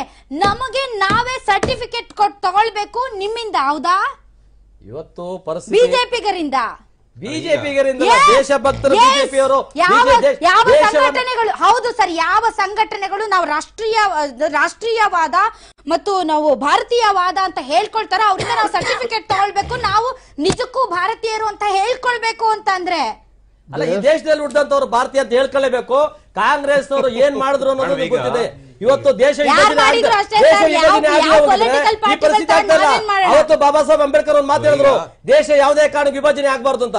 ವಿಭಜನೆ ಆಗ್ತಾ ಹೋದ್ರೆ ಈ ಹಿಂದೂ ಮುಸ್ಲಿಂ ಘಾಟನೆ ಆಗ್ತಾ ಇಲ್ಲ ಈಗ ಇವತ್ತು ಹಿಂದೂ ಮುಸ್ಲಿಂ ಘಾಟ ಕಾರಣ ಏನು? ಫಾರ್ಟಿ ಸೆವೆನ್ ಅಲ್ಲ ಹೋಗ್ಬೇಕಾಗಲ್ಲ ಅವತ್ತೇ ಮುಂದೆ ಆಲೋಚನೆ ಬಾಬಾ ಸಾಹೇಬ್ ಅಂಬೇಡ್ಕರ್ ಇತ್ತು. ಮುಂದಕ್ಕೆ ಹೋಗಣ್ವಾ? ಜನಸಂಖ್ಯೆ ನಾವು ನಾವು ಮುಂದಕ್ಕೆ ಹೋಗ್ತೀವಿ ನೀವು ನಮ್ಮನ್ನ ಹಿಂದೆ ಅಲ್ಲ ಅಲ್ಲ ಅಲ್ಲ ಮೇಡಮ್ ಈಗ ಈಗ ಈಗ ಇಷ್ಟೆಲ್ಲ ದುಷ್ಕೃತ್ಯಗಳು ಹತ್ಯಾಕಾಂಡಗಳು ಆಗ್ತಾ ಇರೋದ್ರ ಹಿಂದೆ ಒಂದು ಮೂಲ ಕಾರಣ ಇದೆ. ಅದೇನಂದ್ರೆ ಆರ್ ಎಸ್ ಎಸ್ನ ಸಿದ್ಧಾಂತಗಳು ಗೋಲ್ವಾಲ್ಕರ್ ಅವರು ಬರೆದ ಪುಸ್ತಕ ಇದೆ. We or our nationhood define bunch of thoughts. ಅದರಲ್ಲಿ ಸ್ಪಷ್ಟವಾಗಿ ಬರೆದಿದ್ದಾರೆ, ಈ ದೇಶದಲ್ಲಿರುವ ಮುಸಲ್ಮಾನರು ಕ್ರೈಸ್ತರು ಮತ್ತು ಕಮ್ಯುನಿಸ್ಟರಿಗೆ ಇಲ್ಲಿ ನಾಗರಿಕತೆ ಇಲ್ಲ. ಅವರು ದೇಶ ಬಿಟ್ಟು ಹೋಗ್ಬೇಕು ಇಲ್ಲ ಅಂದ್ರೆ ಗುಲಾಮರಾಗಿ ಜೀವನ ಮಾಡಬೇಕು ಅಂತ ಹೇಳಿ ಅದಕ್ಕೆ ಅದಕ್ಕೆ ಜರ್ಮನಿ ಉದಾಹರಣೆ ಕೂಡ ಕೊಟ್ಟಿದ್ದಾರೆ. ಎಷ್ಟು ಪ್ರಕರಣಗಳನ್ನ ಇಟ್ಕೊಂಡು ಅಲ್ಲ ಬೆರಳಿಕೆ ಬೆರಳಿಕೆ ಅಲ್ಲ ಅವರ ಅವರ. ಸಿದ್ಧಾಂತಗಳೇ ಅದು. ಅವರು. ಕೊಲ್ಲಬೇಕು ನಿರ್ಮೂಲನ ಮಾಡಬೇಕು ಹಿಟ್ಲರ್ನ ಉದಾಹರಣೆ ಕೊಟ್ಟಿದ್ದಾರೆ ಜರ್ಮನಿ ಉದಾಹರಣೆ ಕೊಟ್ಟಿದ್ದಾರೆ. ಮುಸಲ್ಮಾನರು ನಲವತ್ತು ಇದ್ದಾರೆ. ನಾವು ನಾವು ಹಳ್ಳಿ ಹಳ್ಳಿಗಳಲ್ಲಿ ನಾವು ಅಣ್ಣ ತಮ್ಮ ನೀವು ನೀವು? ಯಾವ್ದೋ ತಂದು ಇದೆ. ಅಂದ್ರೆ ರಾಷ್ಟ್ರೀಯವಾದ ಪ್ರಚೋದನೆ ಮಾಡಕ್ ಹೋಗ್ಬೇಡಿ ನೀವು ನಮ್ಮ ಹಳ್ಳಿಗಳಲ್ಲಿ ಇನ್ನೂ ನಾವು ಅಣ್ಣ ತಂಗಿ ತರ ಇದೀವಿ. ಹರಿರಾಮ. ಅಲ್ಲಿ ಮುಸ್ಲಿಮರು ಹರಿರಾಮ. ನಾವೆಲ್ಲಾನು. ಭಾವನೆಗಳನ್ನ ಅಷ್ಟ ಅಷ್ಟಾದ್ರೂ ಉಳಿದಿದಲ್ಲ ಆದ್ರೆ ಇಡೀ ದೇಶದಲ್ಲಿ ಇಲ್ಲ ಅಲ್ಲ ದೇಶದಲ್ಲಿ ನಮ್ಮ ಹಳ್ಳಿಗಳಲ್ಲಿ ಉಳಿದಿದೆ. ಯಾರೋ ಒಬ್ರು ತಪ್ಪು ಮಾಡಿದ್ರೆ ದೇಶ ತಪ್ಪು ಅಂತ ಹೇಳಕ್ ಹೋಗ್ಬೇಡಿ. ಇದು ಅಂತ ಹೇಳಿ ಜನರನ್ನ ಕೊಲ್ಲುವಂತ ಕೆಲಸ ಮಾಡ್ತಾ ಇದ್ದೀರಿ. ಈಗ ಶಶಿ ತರೂರು ಮತ್ತು ಉದ್ಧವ್ ಠಾಕ್ರೆ ಅವರು ಅವ್ರೇನ್ ಪಾಲಿಟಿಕ್ಸ್ಗೆ ಹೊರತಾಗಿ ಮಾತಾಡುವಂತವ್ರು ಏನು ಅಲ್ಲ. They are also politicians and they talk politics ಅವ್ರಿಗೆ ಈಗ ಚೆನ್ನಾಗಿಲ್ಲ ಅವ್ರು ಮಾತಾಡ್ತಾರೆ. ಉದ್ಧವ್ ಠಾಕ್ರೆ ಅವರು ಬಿಜೆಪಿ ಜೊತೆಗೆ ಅವ್ರ ಸಂಬಂಧ ಹಳಿಸಿದೆ ಅವ್ರು ಮಾತಾಡ್ತಾರೆ. ಇನ್ನು ಸಿದ್ಧಾಂತ ಶ- ಯಾವ್ದು ಅವ್ರದ್ದು ಆ? ಅವ್ರ ಸಿದ್ಧಾಂತ ಸಿದ್ಧಾಂತ ಅದೇ. ಇದು ಸ- ಸಿದ್ಧಾಂತ ಅಂತೂ ಪಕ್ಕ ಅಲ್ಲ ನಿಮ್ ಜೊತೆ ಇದ್ದವ್ರೆ ನಿಮ್ಗೆ ವಿರೋಧ ಅದೇ something wrong because because the relationship is spoiling ಅಂತ. ಸೊ ಪಾಲಿಟಿಕ್ಸ್ ಇಲ್ಲದೆ ಯಾರು ಏನು ಮಾತಾಡ್ತಾ ಇಲ್ಲ. ಬಟ್ ತಮ್ಗೆ ಹೇಗ್ ಬೇಕೋ ಹಾಗೆ ರಾಜಕೀಯವನ್ನ ಅವ್ರು ಬಳಸ್ಕೊಳ್ತಾ ಇರುವಂತಹ ಸಂದರ್ಭದಲ್ಲಿ ದ ರಿಯಲ್ ವಿಕ್ಟಿಮ್ಸ್ ಇದಾರಲ್ಲ. I not talking only Muslims or only only Dalits or only ಆ ಕಮ್ಯುನಿಟಿ ಈ ಕಮ್ಯುನಿಟಿ ಮಕ್ಕಳು ಮಹಿಳೆಯರು ಅಂತ ನಾನು ಹೇಳ್ತಿಲ್ಲ. ವಿಕ್ಟಿಮ್ಸ್ ಇದಾರಲ್ಲ ಅವರ ಪರವಾಗಿ ಸೀರಿಯಸ್ ಆಗಿ ದನಿ ಎತ್ತವ್ರು ಯಾರು? ಸುಮ್ನೆ ಪೊಲಿಟಿಕಲ್ ಸ್ಟೇಟ್ಮೆಂಟ್ ಬಿಟ್ಕೊಂಡ್ ಬಿಟ್ಕೊಂಡ್ ಬಿಟ್ಕೊಂಡ್ ಟ್ವೀಟ್ ಮಾಡ್ಕೊಂಡ್ ಮಾಡ್ಕೊಂಡ್ ಹೋದ್ರೆ? Will come to that actually ಏನಾಗಿದೆ ಅಂದ್ರೆ ಮೇಡಮ್ ಈಗ ನೀವು ಹೇಳಿದ ನಿಜಕ್ಕೂ ನೀವು ಸತ್ಯ. ಸಿ ಈ ದೇಶದ ಏನಾದರೂ ಒಂದು ಸಮಸ್ಯೆ ಆದಂಥ ಸಂದರ್ಭದಲ್ಲಿ ದೇಶದೊಳಗಿರ್ತಕ್ಕಂಥ ಜನರಿಗೆ ಏನಾದರೂ ತೊಂದರೆ ಆದಂಥ ಸಂದರ್ಭದಲ್ಲಿ ಅದೆಲ್ಲವನ್ನು ಕೂಡ ವಾಯ್ಸ್ ಮಾಡಬೇಕಾಗಿರ್ತಕ್ಕಂಥದ್ದು ಪಾರ್ಲಿಮೆಂಟ್ ಬೀದಿಯಲ್ಲಿ ನಿಂತ್ಕೊಂಡು ಪ್ರತಿಭಟನೆ ಮಾಡೋದ್ರಿಂದ ಏನೂ ಆಗಲ್ಲ. ಬೀದಿಯಲ್ಲಿ ಏನೇನೋ ವಿಧ ವಿಧವಾದಂಥ ಪ್ರತಿಭಟನೆಗಳು ಮಾಡೋದ್ರಿಂದ ಏನೂ ಆಗಲ್ಲ. ನಾವು ಇರ್ತಕ್ಕಂಥದ್ದು ಡೆಮೋಕ್ರಸಿಯಲ್ಲಿ ಸೊ ಪ್ರಜಾತಂತ್ರ ವ್ಯವಸ್ಥೆಯಲ್ಲಿ ಪಾರ್ಲಿಮೆಂಟ್ ಇರ್ತಕ್ಕಂಥದ್ದು ಅಸೆಂಬ್ಲಿ ಇರ್ತಕ್ಕ ಅದೇ ಅದಕ್ಕೆ. ಆದ್ರೆ ಇವತ್ತು ಪಾರ್ಲಿಮೆಂಟಲ್ಲಿ ಹೇಗೆ ಏನಾಗಿದೆ ಅಂತ ಹೇಳಿದ್ರೆ ಇವತ್ತು ಒಂದು ಸ್ಟ್ರಾಂಗ್ ಅಪೋಸಿಷನ್ ಇಲ್ಲ. ಒಂದು. ಎರಡನೇದು ಅಲ್ಲಿ ಮಾತಾಡಕ್ಕೆ ಹೋದಂಥ ಸಂದರ್ಭದಲ್ಲಿ ಉದಾಹರಣೆ ನರೇಂದ್ರ ಮೋದಿ ಅವರು ಏನೋ ಮನ್ ಕಿ ಬಾತ್ ಅಂತೆ ಆ ಬಾತ್ ಅಂತೆ ಈ ಬಾತ್ ಅಂತೆ ಏನೋ ಏನೇನೋ ಚೌಚೌ ಬಾತ್ ಏನೋ ಮಾತಾಡ್ತಾ ಇರ್ತಾರೆ. ಅದು ಇದುವರೆಗೂ ಅಫಿಷಿಯಲಿ ಒಂದು ಒಂದೇ ಒಂದು ಒಂದು ಪ್ರೆಸ್ ಕಾನ್ಫರೆನ್ಸ್ನ ಕರೆದು ಮಾತಾಡಕ್ಕೆ ಅವ್ರ ಕೈಲಾಗಲಿಲ್ಲ ಇದುವರೆಗೂ ಕೂಡ. ಮತ್ತೆ ಪಾರ್ಲಿಮೆಂಟ್ ಅಲ್ಲೂ ಕೂಡ ಅಷ್ಟೇ ಸೀರಿಯಸ್ ಇಶ್ಯೂಸ್ನ ಚರ್ಚೆ ಮಾಡಕ್ಕೆ ಅವರು ಬಿಡ್ತಾ ಇಲ್ಲ ಒಳಗಿರ್ತಕ್ಕಂಥವ್ರು ಬಿಡ್ತಾ ಇಲ್ಲ. ಮಾಯಾವತಿ. ಮತ್ತೆ ಬಹಳ ಮುಖ್ಯವಾಗಿ ಮಾಯಾವತಿ ಅವರು ಕಳೆದ ಸೆಷನ್ ಅಲ್ಲಿ ಈ ದೇಶದಲ್ಲಿ ಆಗ್ತಾ ಇರ್ತಕ್ಕಂಥ ಇದೇ ಲಿಂಚಿಂಗ್ ಬಗ್ಗೆ, ದಲಿತರ ಮೇಲಿನ ಶೋಷಣೆ ಬಗ್ಗೆ ಡಿಮಾನಿಟೈಸೇಷನ್ ಬಗ್ಗೆ ಜಿ ಎಸ್ ಟಿ ಬಗ್ಗೆ, ಎಲ್ಲದರ ಬಗ್ಗೆ ನಾನು ಮಾತಾಡಬೇಕು ಅಂತ ರಾಜ್ಯಸಭೆಯಲ್ಲಿ ನಿಂತಾಗ ಅವರೊಬ್ಬರು ಸೀನಿಯರ್ ನಾಲ್ಕು ಬಾರಿ ಮುಖ್ಯಮಂತ್ರಿ ಆಗಿರ್ತಕ್ಕಂಥವ್ರು ಇಡೀ ದೇಶದ ಶೋಷಿತ ಸಮುದಾಯನ ಪ್ರತಿನಿಧಿ ಮಾಡಿಸ್ತಾ ಮತ್ತು ಪ್ರತಿನಿಧಿಸಿದಂಥ ಅರಿವಿಲ್ದೇನೆ ಅವ್ರನ್ನ ಮಾತಾಡಕ್ ಬಿಡಲಿಲ್ಲ. ಆ ಕಾರಣಕ್ಕೆ ಅವ್ರು ರಾಜೀನಾಮೆಯನ್ನ ಬಿಸಾಕಿ ಆಚೆ ಬಂದರು ಪಾರ್ಲಿಮೆಂಟಿನ ಆಚೆ ಅವರು. ಸಿ ಇಲ್ಲಿ ನಿಜವಾದಂತ ಧ್ವನಿ ಇದೆಯಲ್ಲ ಪಾರ್ಲಿಮೆಂಟಲ್ಲಿ, ಆ ಧ್ವನಿಗಳನ್ನ ಅಡಗಿಸುವಂತ ಕೆಲಸ ಮಾಡ್ತಾ ಇದ್ದಾರೆ.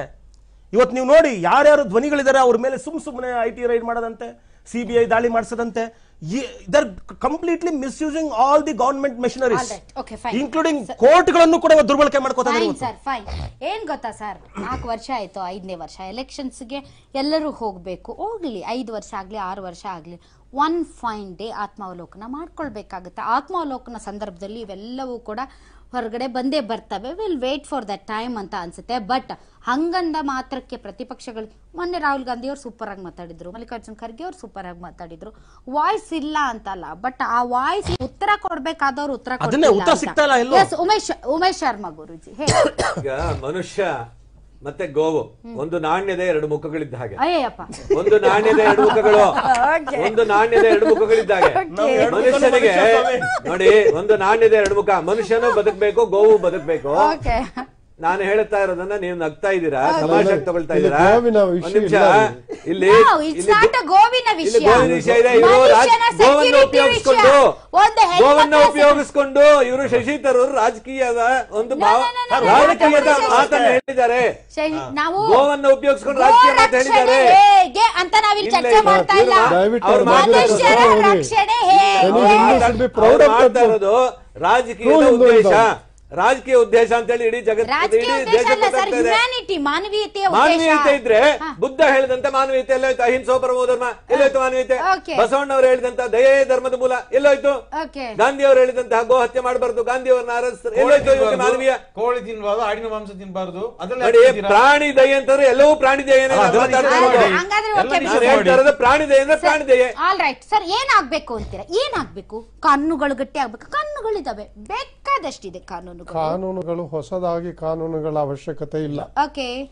ಇರುವಂತ ಕಾನೂನುಗಳನ್ನು ಅನುಷ್ಠಾನಗೊಳಿಸುವಂತ ಮನಸ್ಸು ಶಕ್ತಿ ಎರಡು ಬೇಕು. ಇಚ್ಛಾಶಕ್ತಿ. ಇಚ್ಛಾಶಕ್ತಿಯ ಜೊತೆಗೆ ಮೋದಿಯವರು ಮಾತಾಡ್ತಾರೆ ಇಲ್ಲ ಅಂತ ಹೇಳಲಿಲ್ಲ. ಯಾವಾಗ ಮಾತಾಡಿದ್ರು? ಒಂದಿಷ್ಟು ಜನ ಹೋದ ಮೇಲೆ ಯಾರಾದರೂ ಕೈಗೆ ಆಗಲು ಆರ್ಡರ್ ತಗೊಂಡ್ರೆ ನನ್ನ ನಾನು ಇದು ಮಾಡ್ಬಿಡ್ತೇನೆ ಅಂತಂದ್ರು ಹಂಗಲ್ಲ. ನೀವು ಆಗ ಮಾತಾಡಿದ್ರಲ್ಲ ನನ್ನ ಮೇಲೆ ನಾನು ನನ್ನನ್ನು ಸುಡಿ ಅಂತ ಹೇಳೋದಲ್ಲ. ನಾನು ಕಾನೂನು ಮೂಲಕ ನಿಮ್ಮ ಈ ಶಕ್ತಿಯನ್ನು ಸುಡ್ತೀನಿ ಅನ್ನೋದು. ನಿಮ್ಮನ್ನು ಸುಡ್ತೀನಿ ಅನ್ನೋದು ತಪ್ಪು. ಕಾನೂನು ಅದು. ನಿಮ್ಮ ಶಕ್ತಿಯನ್ನು ಸುಟ್ಟು ಕಮ್ಮಿ ಮಾಡ್ತೀನಿ ಅಂತ. ಶಕ್ತಿ ಎಲ್ಲಿಂದ ಬರ್ತಾ ಇದೆ ಅಂದ್ರೆ ಕೊ- ಕೊನೆಗೆ ಅದು ಬೌನ್ಸ್ ಅದೇ ಅದೇ ಬೇಕಾಗುತ್ತೆ ಬೌನ್ಸ್ ಬ್ಯಾಕ್ ಆಗ್ತದೆ. ಆದ ಕಾರಣ ಶಕ್ತಿ ಇದೆಯಲ್ಲ? ಇದಕ್ಕೆ ಕಾನೂನಿನ ಮೂಲಕ ಅಲ್ಲ. ಮನಸ್ಸನ್ನ ಮನುಷ್ಯನಿಗೆ ದ್ವೇಷದ ವಾತಾವರಣವನ್ನು ಬಿಟ್ಟು ಮನುಷ್ಯರಾಗಿ. ಮನುಷ್ಯರಾಗಿ ಅನ್ನುವಂತ ಕರೆ ಥ್ಯಾಂಕ್ ಯು ಕೊಡಿ. ವೆರಿ ಮಚ್ ತಾವೆಲ್ಲರೂ ಇಷ್ಟೊತ್ತು ಕಾರ್ಯಕ್ರಮದಲ್ಲಿ ಭಾಗವಹಿಸಿದ್ದಕ್ಕಾಗಿ ಇಲ್ಲ ಸರ್ ಮುಗಿದೋಯ್ತು. ಆಲ್ ರೈಟ್ ಮನುಷ್ಯರಾಗಿ. ಎಲ್ಲ ಧರ್ಮಗಳು ಎಲ್ಲ ಗುರುಗಳು ಎಷ್ಟೆಷ್ಟು ಮಾನ್ ಪುಣ್ಯ ಪುರುಷರು ಪ್ರವಾದಿಗಳು ಎಲ್ಲರೂ ಹೇಳಿದ್ದ ಅದನ್ನೇ ಮನುಷ್ಯರಾಗಿ. ಎಷ್ಟು ಸಿಂಪಲ್ ಆಗಿದೆ. ಅದನ್ನ ಬಿಟ್ಟು ಮೃಗಗಳಾದ್ರೆ ಹಿಂಗೆ ಆಗೋದು. ಇದು ಇದರಿಂದ ವಿಶೇಷ ಬಿ ಟಿವಿ ಇದು ಭರವಸೆಯ ಬೆಳಕು